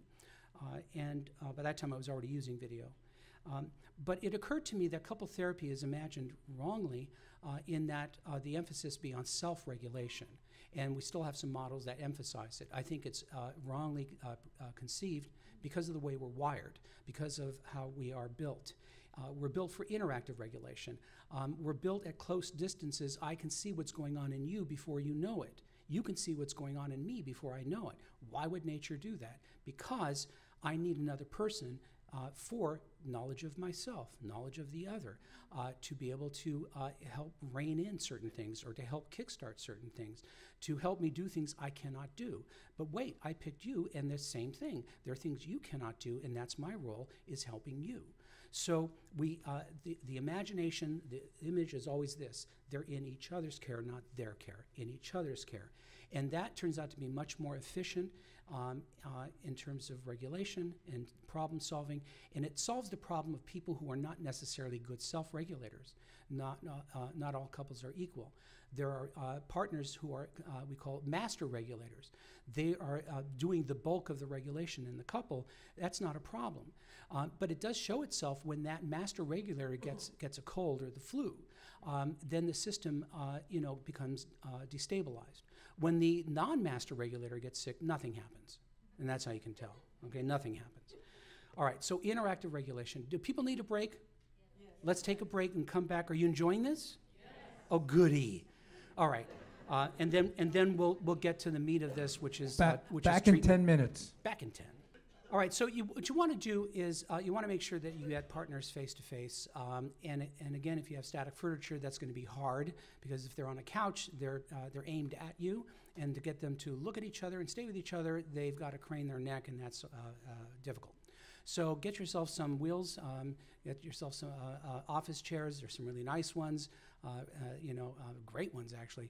They can range from very cheap staples to very expensive ones. Um, and I promise you, if you if you have the space to do it, um, you'll never want to go back. Um, you'll again wonder why you ever did anything other than that. So you want to get them face to face, eye to eye, so that uh, they're on stage, you're off stage.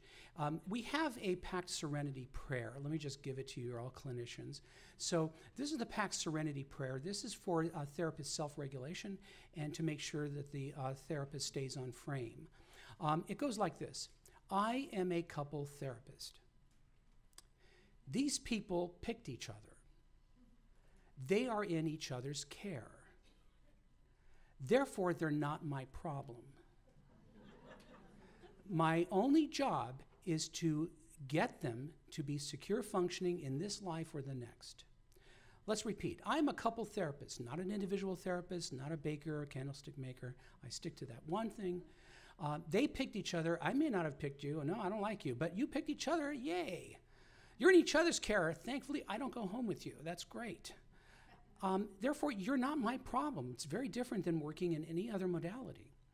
Um, what you do uh, or you don't do isn't my problem. My only job is to push you, shove you, cajole you uh, uh, to do secure functioning because it's the only uh, way that people can interact over the long run without accruing threat uh, and animosity. Um, and, uh, and so, whether you do that now or in your next relationship is fine. That's my goal. That's my only goal. All right, and it really helps, and still to this day, it helps me calm down when I see a couple in front of me I'm going to be with for several days and several hours a day and uh, they look, uh, you know, like they're very difficult to me. And I go, oh my God, I didn't vet this properly. I am a couple therapist. These people picked each other, right? Uh, it really does uh, sort of put a comb through your hair if you have hair. Um, we're teaching them to read each other's faces. Um, we're good at reading faces. We want to see how well they do it. Um, because PACT is a, um, is a uh, used to be called a deficit model that's consistent uh, with neuroscience. Uh, but because it sounds so negative, we call it now a capacity model. Same thing, it just sounds better. Capacity model, it's a developmental model um, that is looking at the developing brain from infancy, infant attachment, uh, um, and the, the, uh, the, the amount of, uh, of symmetry networking vertically and horizontally in the brain. Um, how acute or, uh, is the, their social emotional capacities to read faces, interoceptive cues, uh, to be able to name affects, uh, and so on. So we're also uh, aware of deficits, people, uh, things that people cannot do.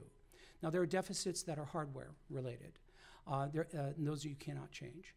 there are deficits that are both hardware and software, and a lot of those are personality disorders and people with, with severe PTSD and so on. Um, uh, but uh, again, we understand the deficit and we understand what's a defense and what is something that uh, a person cannot do regardless of defense. Um, uh, it is a gaping hole, right? Uh, and we find these, uh, these deficits in the area of memory, visual detail, um, affect blindness, alexithymia, and of course, a big one is theory of mind issues uh, and those are impossible to treat. Um, so we want, uh, we're sweeping for deficits and, and uh, trying to understand uh, what they are by having them face to face, seeing if they can read each other's faces accurately. Uh, oh, she looks angry. Well, where do you see it? Uh, her earlobes. Well, we have no data to show that anger looks affects the earlobes. Um, vocal cues, tells, and so on. Um, so I'm going to I'm going to demonstrate a little bit of this. Um, can I have uh, I probably have the lights on? Uh, oh, up here are there lights up here or is this? Ah, yeah, there we are. Uh, and I'm going to take this portable mic. And could I just have two uh, two volunteers? Don't worry, I won't uh, put you in a terrible position. Um, I won't embarrass you. Um, uh, to come up as volunteers, just two. and so, and come a little closer together because I'm going beyond the initial uh, interview, which is um, which involves many times they're in a V position. So they don't start in this way. Disorganized sometimes will start in this way, and they have their reasons. Um, but generally speaking, they they they uh, pose uh, in a V configuration. Sometimes in a theater seating, like a, a do us kind of uh, seating, uh, where they're just looking right at me, uh, side by side. Um, but uh, they're going to end up here at some point in the first session. So this is a little bit like doing this interview, which is a forensic interview, forensic type. Uh, in other words, um, I am going to be asking them questions and monitoring their, uh, their body reactions and their reactions to each other um, uh, as a way of getting information beyond the actual question uh, that I'm asking. And I'm constantly flagging uh, issues that are coming through somatic reactions that I want to follow up on. So uh, in the first session, we get, uh, we get a, uh, a sketch, right? Uh, we're getting an overview, a coverage, in order to flag areas that we want to follow up on, go deeper with. Um, we have to do that, otherwise, we'll go down the rabbit hole. Um, and so I'm doing that initial interview, getting a genogram, getting the basic structure of their families of origin, uh, and then also asking basic questions. Uh, and I may ask, uh, you know, I'll be sitting far back, and I'll say, uh, So, do you guys have sex? And my eyes are going back and forth. I'm checking their timing.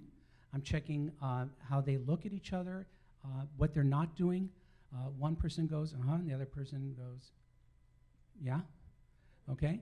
Um, I'm, that's flagged, right? That's flagged. Um, I ask somebody, so, um, so what do you do for a living? And, and he says it. Um, I don't like my job, he says. What do you really want to do? And he says, I want to be a minister. That gets flagged, okay? Because when somebody feels proud about something, uh, excited about something, they don't look down like that. So there's, that's flag worthy. And I'm picking up all these uh, clues that there's, there's a there there, right? I'm listening to their voice, how they answer, all of that. Um, and they don't know that, but that's fine. Um, and I'm doing something else. Um, I'm doing something called cross uh, crossing, cross questioning, cross commenting, cross interpreting, and cross tracking. Let me start with cross tracking. Um, I'm going to ask you a question, but as you answer it, I'm going to look at you. Okay? Uh, and then I'm going to go back and forth, up and down, because I'm, I'm tracking every move that they make or don't make. Uh, and then as soon as uh, she starts talking, I look over here. Now, this is counterintuitive. It's very hard to learn. It, seem, it sounds like it would be easy, but it's not, uh, because you have, to, you have to defy a natural wiring for us to look at the person who's talking, right? And of course, in, in, in social discourse, it would be rude to constantly do that. Um, but in here, uh, I'm crossing tracking because the person who is talking is using a lot of resources in the high left.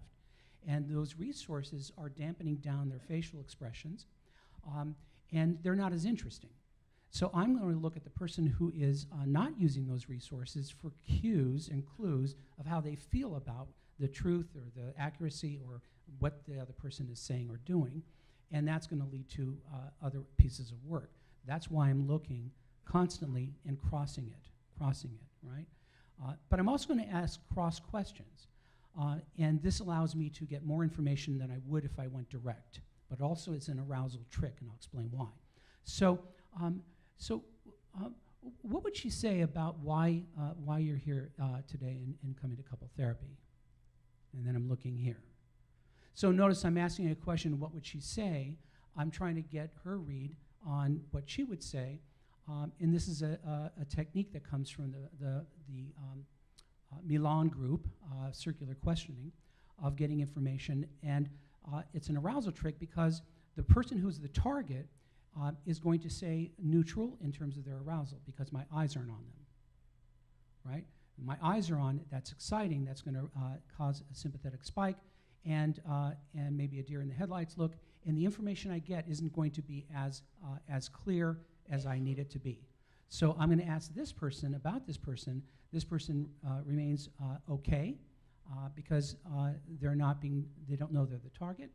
This person uh, um, is uh, being tested for their knowledge, right? Because they're in each other's care. You're supposed to be an expert. Uh, you're supposed to know, right? So that's good. And then this person gets to be a fly on the wall and hear what their partner knows. Uh, so, so it's far more bang for your buck to cross things, and as you'll see, it also keeps you out of trouble if you if you run into a defense here or there. Um, it's you're not going to get pushback because you're crossing the question. I can say I can say to her, is, is she always uh, is she always this irritable? And before she knows what hit her, I'm back in her face regulating her. I got away with something. So I'm able to get more information, push more information out. I'm able to move the ball forward faster by crossing uh, the questions without getting defense, without getting anything back. And of course, I'm always there to repair anything uh, in case I misstep, which I'm going to because part of this work is the therapist is going to be the, uh, the bull in the china shop, uh, the clown at the bullfight.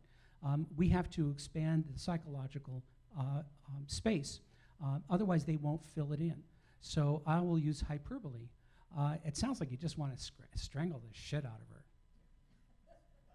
Okay, I just I just aimed way over the top, and that allows her to pull it back into reality. If I don't aim over, then I then I have to expect her to push it out, which she's not going to do. So now she's said, "No, I don't. No, I don't. No, no, I don't feel that way. Oh, okay. I what do I know? Um, I just feel, yeah, I do want to strangle her. Right? So uh, oftentimes you're right on. Um, all right, so I'm cross questioning uh, uh, to get information, and when if I go direct, I have a reason of going direct and why I don't cross it. But I'm also going to cross comment. Um, you know, she didn't like that, what you just did. Now I'm only going to do that a little bit because I'm pointing her in the direction of you're not noticing, you're not watching. I don't want to be the only audience to you guys' reactions. You guys have to do this yourselves. So only uh, so much of cross commenting. But where it gets very powerful is to interpret. So I get to interpret um, her to you. I get to interpret you to her. Let me tell you about Sally. What is your name, by the way? Kim. What's your name? Okay, I'll remember Oprah. Ofra. Kim. Um, and so let me tell you about Ofra.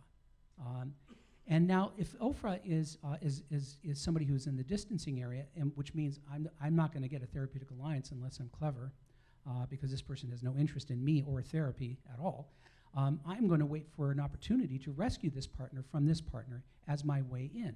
Uh, and so she's going to uh, be angry with her, probably for distancing and doing the other stuff that avoidance do.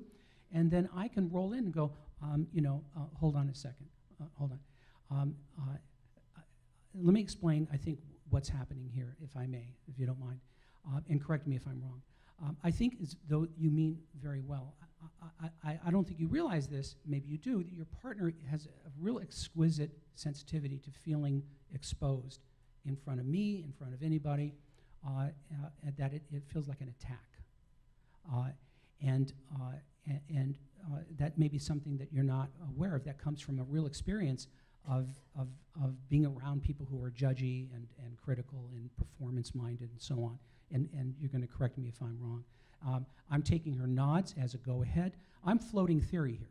I'm guessing. I'm using theory, uh, which is uh, pretty cool, uh, to guess her.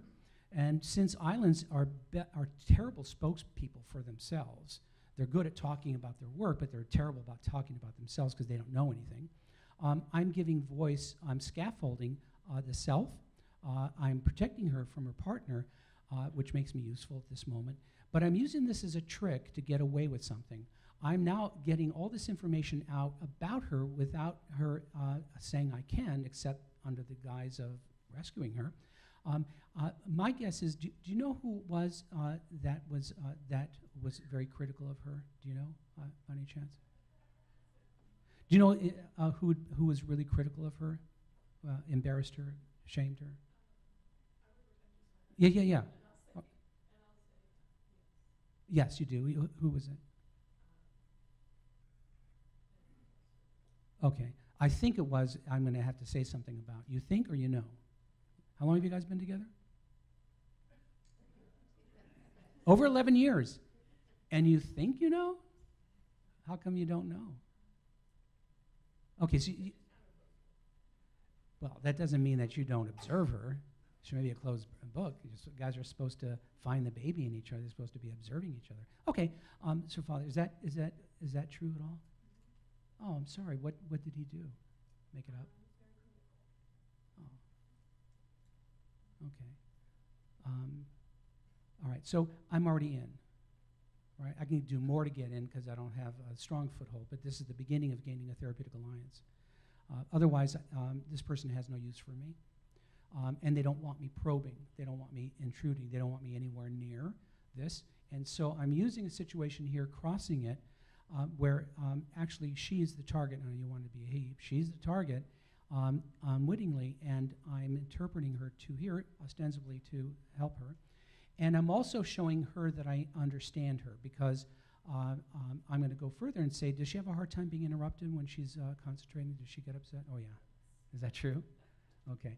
That's because uh, she gets hyper focused and she kind of goes into a little bit of a, uh, of a um, uh, uh, dissociative state.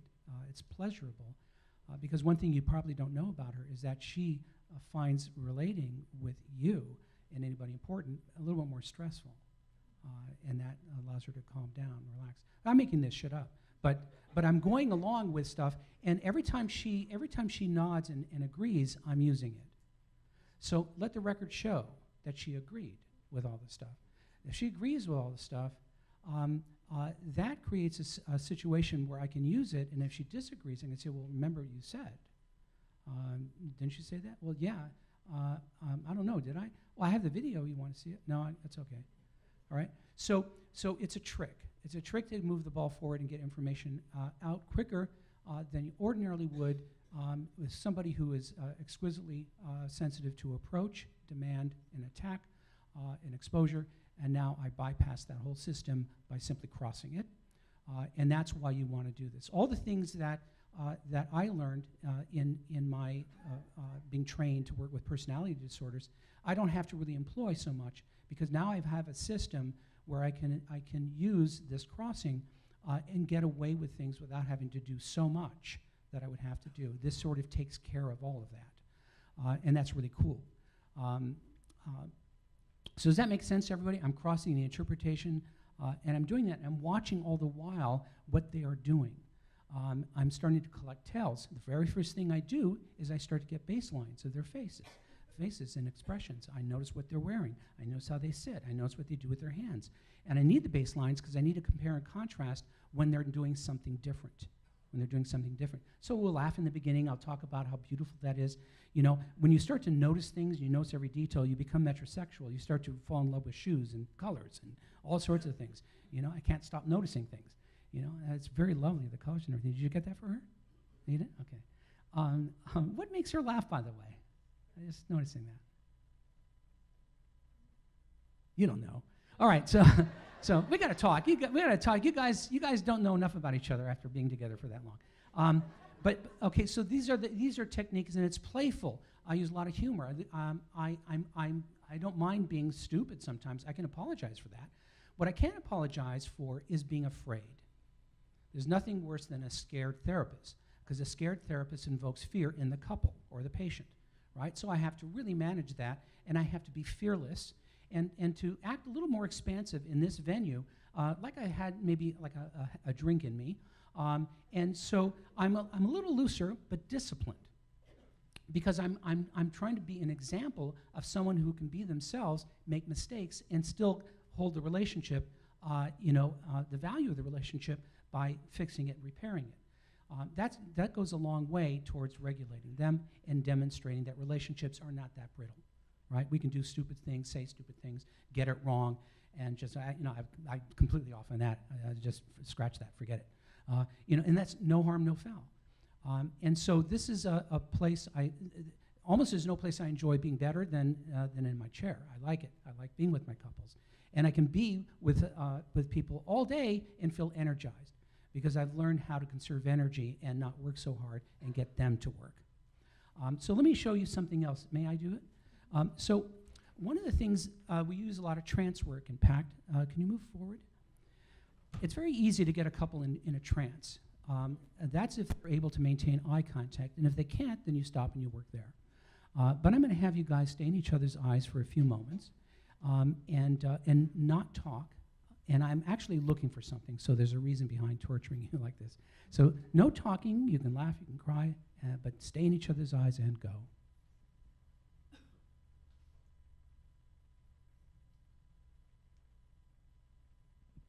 Got her heartbeat right there. I'm getting uh, where they're breathing from the chest or the belly, how they're holding their hands, whether they're matching or not matching, how often they're blinking, pupil size, whether th- I can see controls on the face. And we divide the face uh, uh, lower, middle, and top. Each move uh, together, but also independently. She has a control in the lower part of her face.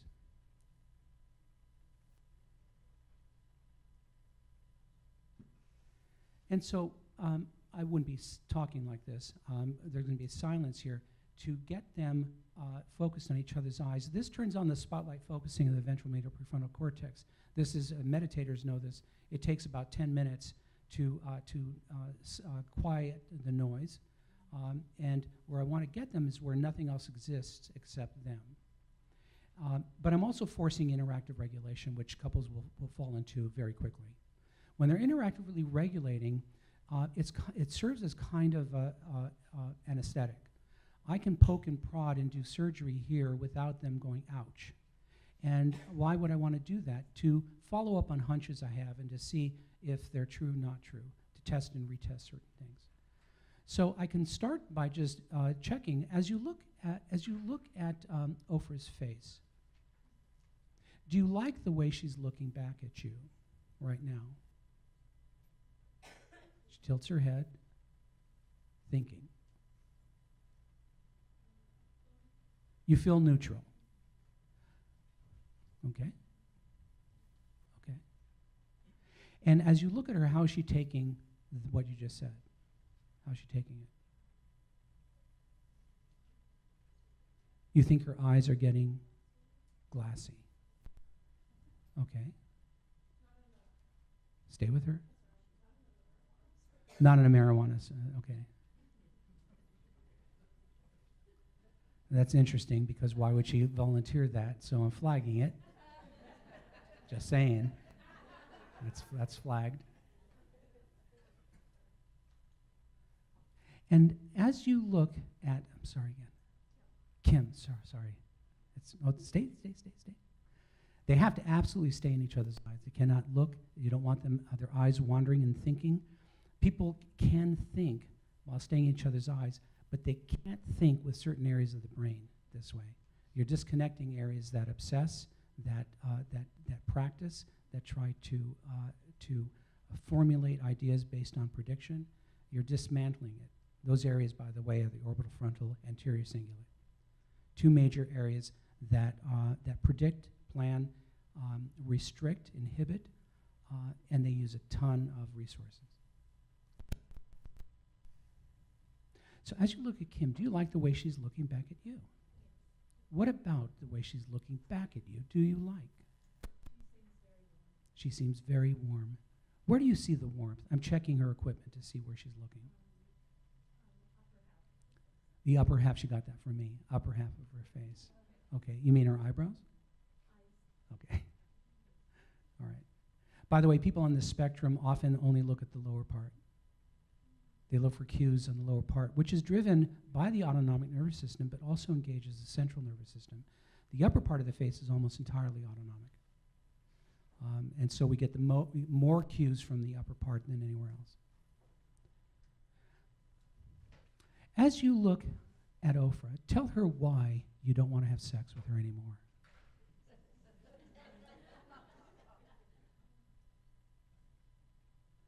Keep looking at her. Don't look. Keep look. I don't want her thinking. You understand? And I'm I'm doing all these things at once, but I'd be looking up and down. My eyes are darting back and forth. Think of yourself as being a documentarian. The camera, if it doesn't see something, nobody sees it. If you didn't see it, it doesn't exist. So I have to watch rapidly what they're doing moment by moment, otherwise, I won't catch them in the act of being themselves. Now, saying that under these circumstances should not cause a huge flinch because of the numbing effect, in a good way, of the interactive regulatory bond here. Um, they're actually holding each other, soothing each other. Uh, this would be like Peter Levine's well-placed touch, right? Um, it's, it has a calming effect uh, and, and uh, prevents a spiking, right? Doesn't mean it doesn't happen, but it generally. Uh, so I can do things. Um, uh, as you as you look at Kim, tell her why you're not fully transparent with her. I don't trust her. As you look at her, how's she reacting to that? She's surprised. Hold on. Now, what I'm not doing right now is saying a lot. Hold it. Because I'm looking in the spaces. Uh, people react talking. So I try to look at the speaker after they finish talking because then they show. Um, uh, and I- uh, but also, people start to uh, do things in the spaces and they reveal themselves, right? So you wait and you hold and you watch. Uh, is that true, what she said? Oh, I'm sorry. I'm sorry. Uh, I, I don't. Yeah, I said I don't trust her. Um, uh, do you know why she doesn't trust you? Crossing it.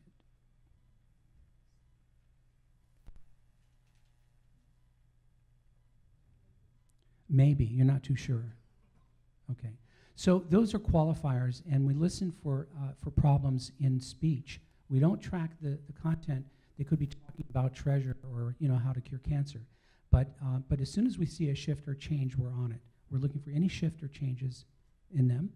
Uh, that's the important thing, not steady state. But we're also listening for incoherent languaging.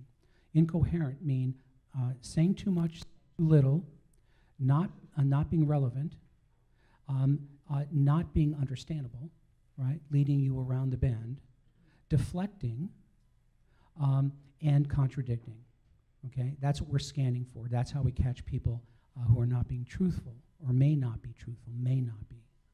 Okay, so she's using qualifiers here, which uh, either says that she doesn't know things, she doesn't have confidence in what she knows, she doesn't want to say because it could get her into trouble. It could be a lot of reasons. I don't know what those are, but I'm going to check. I'm going to, you know, as soon as I have a hunch, I'm going to test and retest and corroborate information because I need evidence.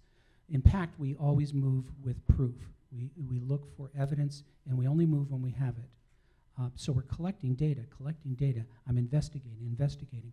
I'm inquiring, I'm, in, I'm interviewing more than I'm doing anything else because I need enough data to know what is this, what is going on. Otherwise, I'll move too fast and I'll make the wrong move, right? Uh, the couple system is highly complex. Um, it, is, it is, is phenomenological and intersubjective. Here's an example. This person um, uh, has a hard time making eye contact. Uh, I could think they have the problem. I have them look at me and they don't have a problem. I put them back and they have the problem. We find out that this person doesn't have a problem with eye contact. She does. And because of the system, the empathic system, she's gaze averting for her unconsciously. She's gaze averting uh, uh, because she knows there's only so long she can go. Do you understand? This is how tricky this is. Somebody comes in with a memory problem and they're 74 years old and they had three brain injuries. Of course, they have a memory problem. The other person is 45. But wait, they don't. The 45 year old does. And it's not a memory problem, um, uh, they're borderline. And so every, every threat um, uh, leads to misappraisal upon misappraisal. Um, and that appears like a memory problem, but it actually is, is a getting things wrong because uh, of emotional flooding and distorting reality. So uh, things are never what they seem in this work. Never. It looks like a duck, and it's a, and it's, and it's a frog. It's not even the same geno, uh, genus, right? Um, be prepared for that. And so we investigate, investigate the hell out of everything, even to granularity, because words are misleading. We mostly misunderstand each other much of the time. Memory is, is terrible. Can't go by memory because memory is not reliable. And perception, like I said, is like a funhouse mirror. If, uh, if she gets activated, everything she sees, smells, hears, touches is altered by her state of mind. Things are not the same. Remember, we've never lived outside of our heads and we never will. It's all subjective and it's all shifting and changing according to our state, uh, which is constantly being driven and interacted with by memory. So that's a problem for us too. So we have to really be careful uh, in our assumptions because uh, we can be wrong very easily. Okay, so I'll show you one other technique because we were doing this, and I can go further, and I can uh, now I can move perhaps into uh, into an attachment interview, which is stressful while they're in each other's eyes, uh, and go to early attachment uh, issues, uh, and they're witnesses to each other, right? They're each other's, uh, you know, sort sort of, um, you know, therapist in that sense. Um, but let's say, uh, let's say I'm dealing with both of them, and instead of, uh, instead of dividing and conquering, I need to deal with the system altogether, which is I'm going I'm going to want to do mostly. Um, I'm going to I'm gonna, uh, go down the middle. In going down the middle, the target is in the center between them. And uh, let's say they're not looking at each other, but let's say they're looking, they're in that V formation, um, or they could be here, doesn't matter. Uh, but I get, I, I, find out that this person, uh, this person complains that uh, that she lies. Um, this person um, does lie, but I'm leveling the playing field, and I find out that this person has lied too. Now I go down the middle. You're both liars. That's leveling the playing field. I'm always leveling it because I never want uh, one person to get too high and mighty or another person to feel like they're the problem. No angels, no devils. Where there's one, there's the other. I know where to look in the opposite direction. Um, and so uh, down the middle levels automatically the playing field because both it usually starts with the both is both you the two of you you're both right and it can be saying you know you're both lovely um, uh, I, I love how you guys it, it can be appraising uh, it can be an interpretive or if i need to stop acting out uh, them acting i need to stop something now um, it can be you know uh, you know you guys are, are lovely people i really i really uh, very fond of both of you uh, however, t- together you're shit. I mean, um, uh, I don't know where you got the idea that what you do is love. So, in down the middle, because we're all, the the PACT therapist is always aware and has to account for uh, voice, speed, gestures, movement, head tilting, moving forward, moving back. Uh, my eyes go down or center when I'm saying something that would be painful, uh, because I don't want either of them to think I'm addressing them specifically. I'm, uh, I, this is uh, equal uh, load bearing on the system itself, and I'm basically confronting the system. This goes back to Tavistock. This goes back to Bion. This goes back to I'm dealing, I'm addressing the system only. Uh, so, uh, you know, neither of you seem to want to do work today. Why? Uh, and this is how I steer the ship and how I stop something now or I start something now. very powerful intervention uh, going down the middle. Uh, you just need to know that you have to have the goods on both of them. You don't want to be caught. Uh, you know, I don't really have that information here. And then she could rightfully say, What do you mean we, Kimasabi? I don't do that. Okay, so you just want to make sure you have that. And th- down the middle almost comes naturally when you're crossing. You're crossing, and then, and then somebody was going to do something or say something that you just heard from the other person. It sounds like you both have a hard time getting close. Seems like neither of you know anything about each other. Why? Okay? So down the middle, crossing, uh, you know, cross tracking uh, sounds easy, but it's uh, hard to remember to do, to train yourself to do. Once you do it, you start doing it everywhere. Information from your friends. You know, your their, their, their partner will talk and you're looking over here and you're going, uh oh. You know, because your, your eyes are open and you're picking things up, you're seeing things. That is pro social, by the way. You, um, one thing I was going to say about paying um, super, super close attention to every detail is that um, we fall in love through the eyes. And we fall in love with that which we pay very close attention to. So you're going to fall in love with your couples. You're going to start to love people more because it does start to translate into attention. Right? That what we attend to, we understand, we like, we start to look for the baby in people, we start to, right? Um, and, uh, and so these skills are not just good in the, in the clinic, they're good everywhere, right? If you train yourself to, to do this. Um, and you're simply uh, paying attention, constantly watching, looking for any shift, any change while relaxing your body. That's how we self regulate. The biggest problem for therapists is not knowledge, is not intervention, it is self regulation. The biggest problem. Um, getting your arousal too high or too low, and then acting out your countertransference, doing something you ought not to do. In this work, um, we're dealing a lot with projective identification that's beyond the scope of today, but I'm always using that in terms of what is being held, what is being given to me in the way of uh, fantasy, thoughts, urges, impulses, feelings, uh, and I'm going to put that out into the system as quickly as possible. You cannot do that in individual therapy or family or group. In fact, the things that I can do in couple therapy and get away with, I cannot get away with if you add one more person here. They'll see what I'm doing. They'll see the trick I'm using and so it doesn't work. Um, I can get away with a whole ton of things because I'm working with uh, uh, this uh, dyadic system as a third, and I can do all sorts of fancy things to lead, mislead, uh, to trick them to be strategic, uh, and they'll never, they'll never uh, see it happening. Now, most of my couples know I'm strategic, and they actually like it. They like that I'm paying really close attention, and they like that I'm being tricky. they count on it. Sometimes they ascribe things to me that I never thought of. You know, no, actually, I'm, I'm an idiot. I wasn't even thinking about that. Um, but um, but it is it is a loving thing if you're if you're loving with your couple, uh, and you actually intend for them to be healthy and to have a secure functioning relationship, and you're pushing development forward.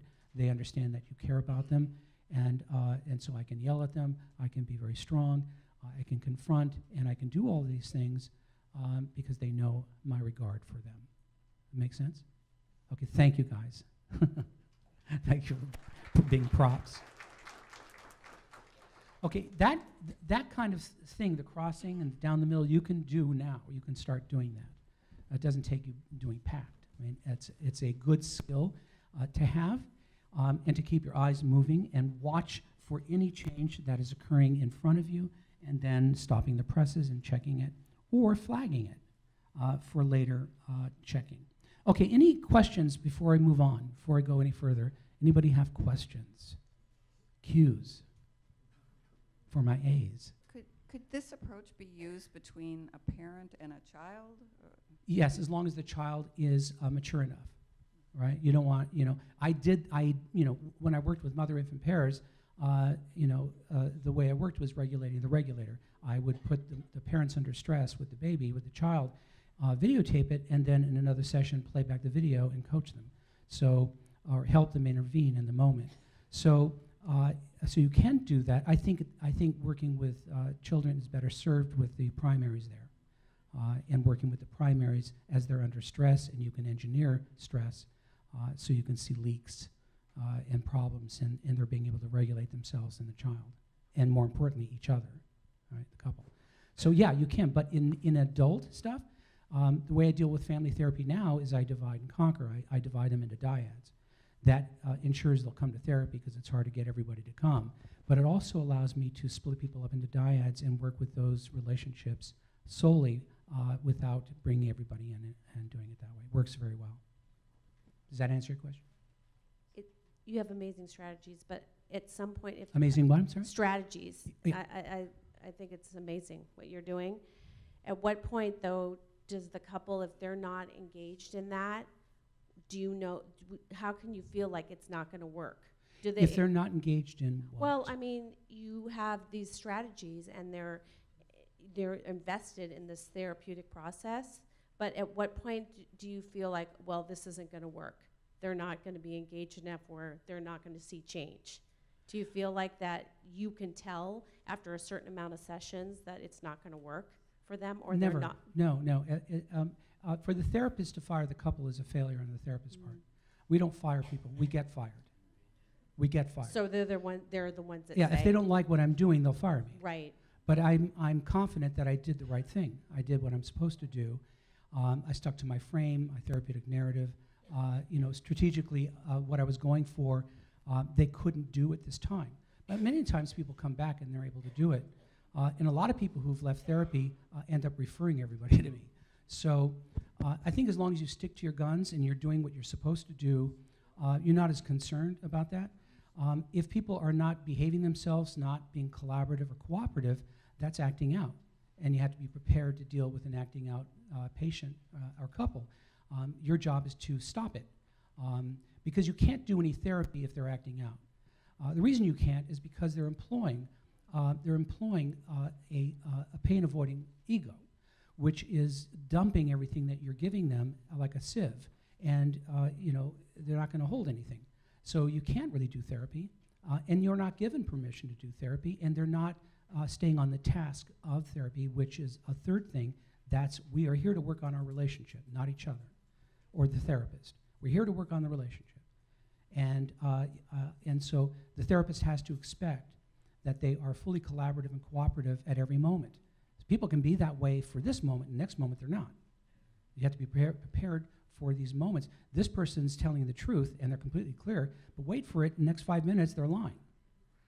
And so that's how people are. You know, um, uh, you're always uh, looking and watching to see are they on track, are they on task, um, are they collaborative, are they cooperative. If not, then we have to go back to our interventions that get a therapeutic alliance. Anybody else before I move on? You can use your theater voice. Well, there's one abusive spouse. Good question. Okay, so a lot of people are emotionally abusive. Um, uh, if there is physical violence and I get wind of it, we're not talking about anything except that.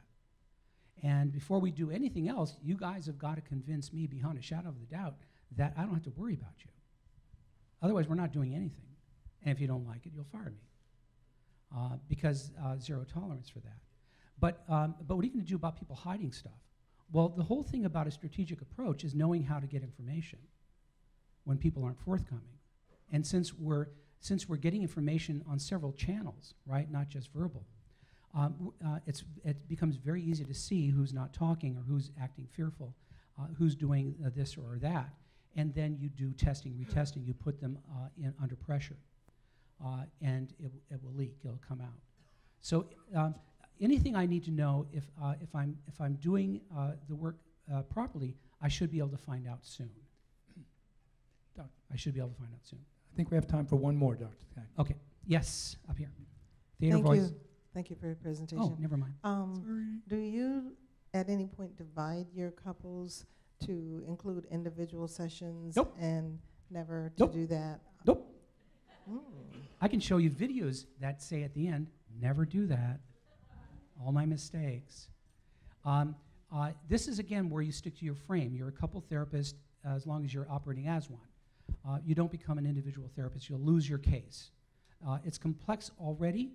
Uh, now you're adding a level of complexity that you will not be able to see through. Uh, plus, people are boring alone.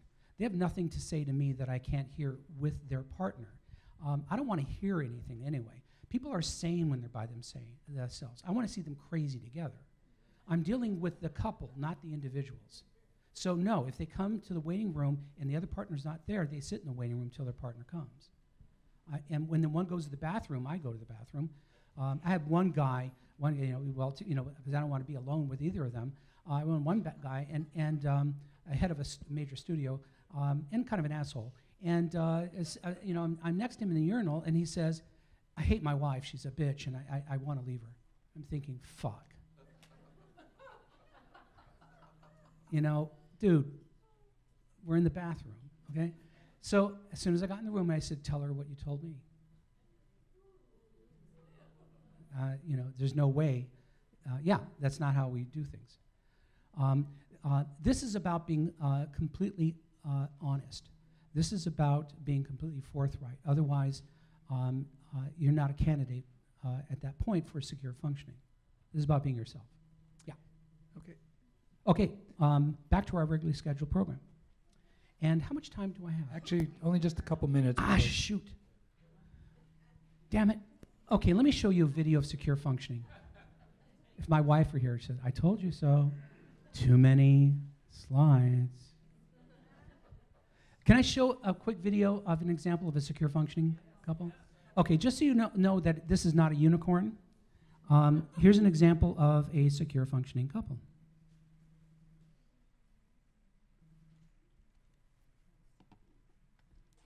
That guy's a psycho. He's been Volume? a psych drug so long, Volume? I don't know if he's still on him. They come out of his lung. He sits around and do nothing all day long and harasses Can you guys hear? Sexually harasses me, huh? sexually harassing. Yeah. That guy right Don't don't start trouble with him. He's a psycho. He's liable to do anything, man. Look, lunatic. That man's always around at night and you're not here, so don't Okay. start nothing. Well, I met Leanne through Lamp, but I met her because a guy was bothering her one day, and I just didn't. I don't like uh, people to take advantage of old people, and he was taking advantage of her. So I, I, I intervened, and she didn't forget it. And after that, she just kind of adopted me as her fiance, and I've been her fiance ever since. That's been nine years ago. But then I started to, to like her as a person, and I started to uh, understand her, who she is right here, and her uh, mental illness with the collection of trash, and she has storages full of trash, like three different ones, just completely piled up that she pay every month. Nothing but garbage. But that's who she is, and I take her just who for who she is, and, and that's why she loves me, and I love her for that, and I accept her for that. I guess that's how I get my blessings from God. You know. Because in the beginning it wasn't like that, but I truly, I would defend her with my life, dude. Believe that. I would die behind this little lady right here. Hmm. life is, is, is, life is a conundrum. You can believe that. So strange. And everybody down here knows that if they bother her today, they're gonna have to deal with me. So they basically He has intermittent explosive disorder, so they all. don't. They hate that she carries all that trash. That's what she likes, man. And it took me a long time that people, why you don't get her off the street and why you don't get she didn't want it, she doesn't want that. See, people don't understand. See, you have to let them be who they are. When she's ready to go inside, she'll go inside. When she wants to live on the street, you have to let her live because a lot of times she likes to live on the street, even though she has an apartment. She leaves a trail like Linus everywhere she goes. Even though his mother's well set, the money he, she gave him, he spent on drugs. And then these people give him one drug knowing he'll have to buy more. They keep psyching him. And, and he almost finished his psychology course, and he went three years to medical school. He had to drop out medical school. He'd crack-a-lacking it up so bad. Couldn't remember anything. And now he's thinking about going back to medical school, even though he has pancreatic cancer, which is really a sick move. Is he a good fiance? Yes, he is. Um, we have uh, examples uh, upon examples of people with personality disorders, mental illness, brain injury, uh, uh, autism, and their secure functioning. Uh, if they can do it, your couples can do it. Uh, you just have to expect it, otherwise, they won't, right? So, we really do think that secure functioning is the way to go, not just for couples, but for everybody. So, I hope you enjoyed the presentation. I'm sorry I didn't get more into the working with the addictions part. Um, I guess I didn't plan well. Um, but good luck with your couples, and it was a pleasure talking to you. Thank you very today. much.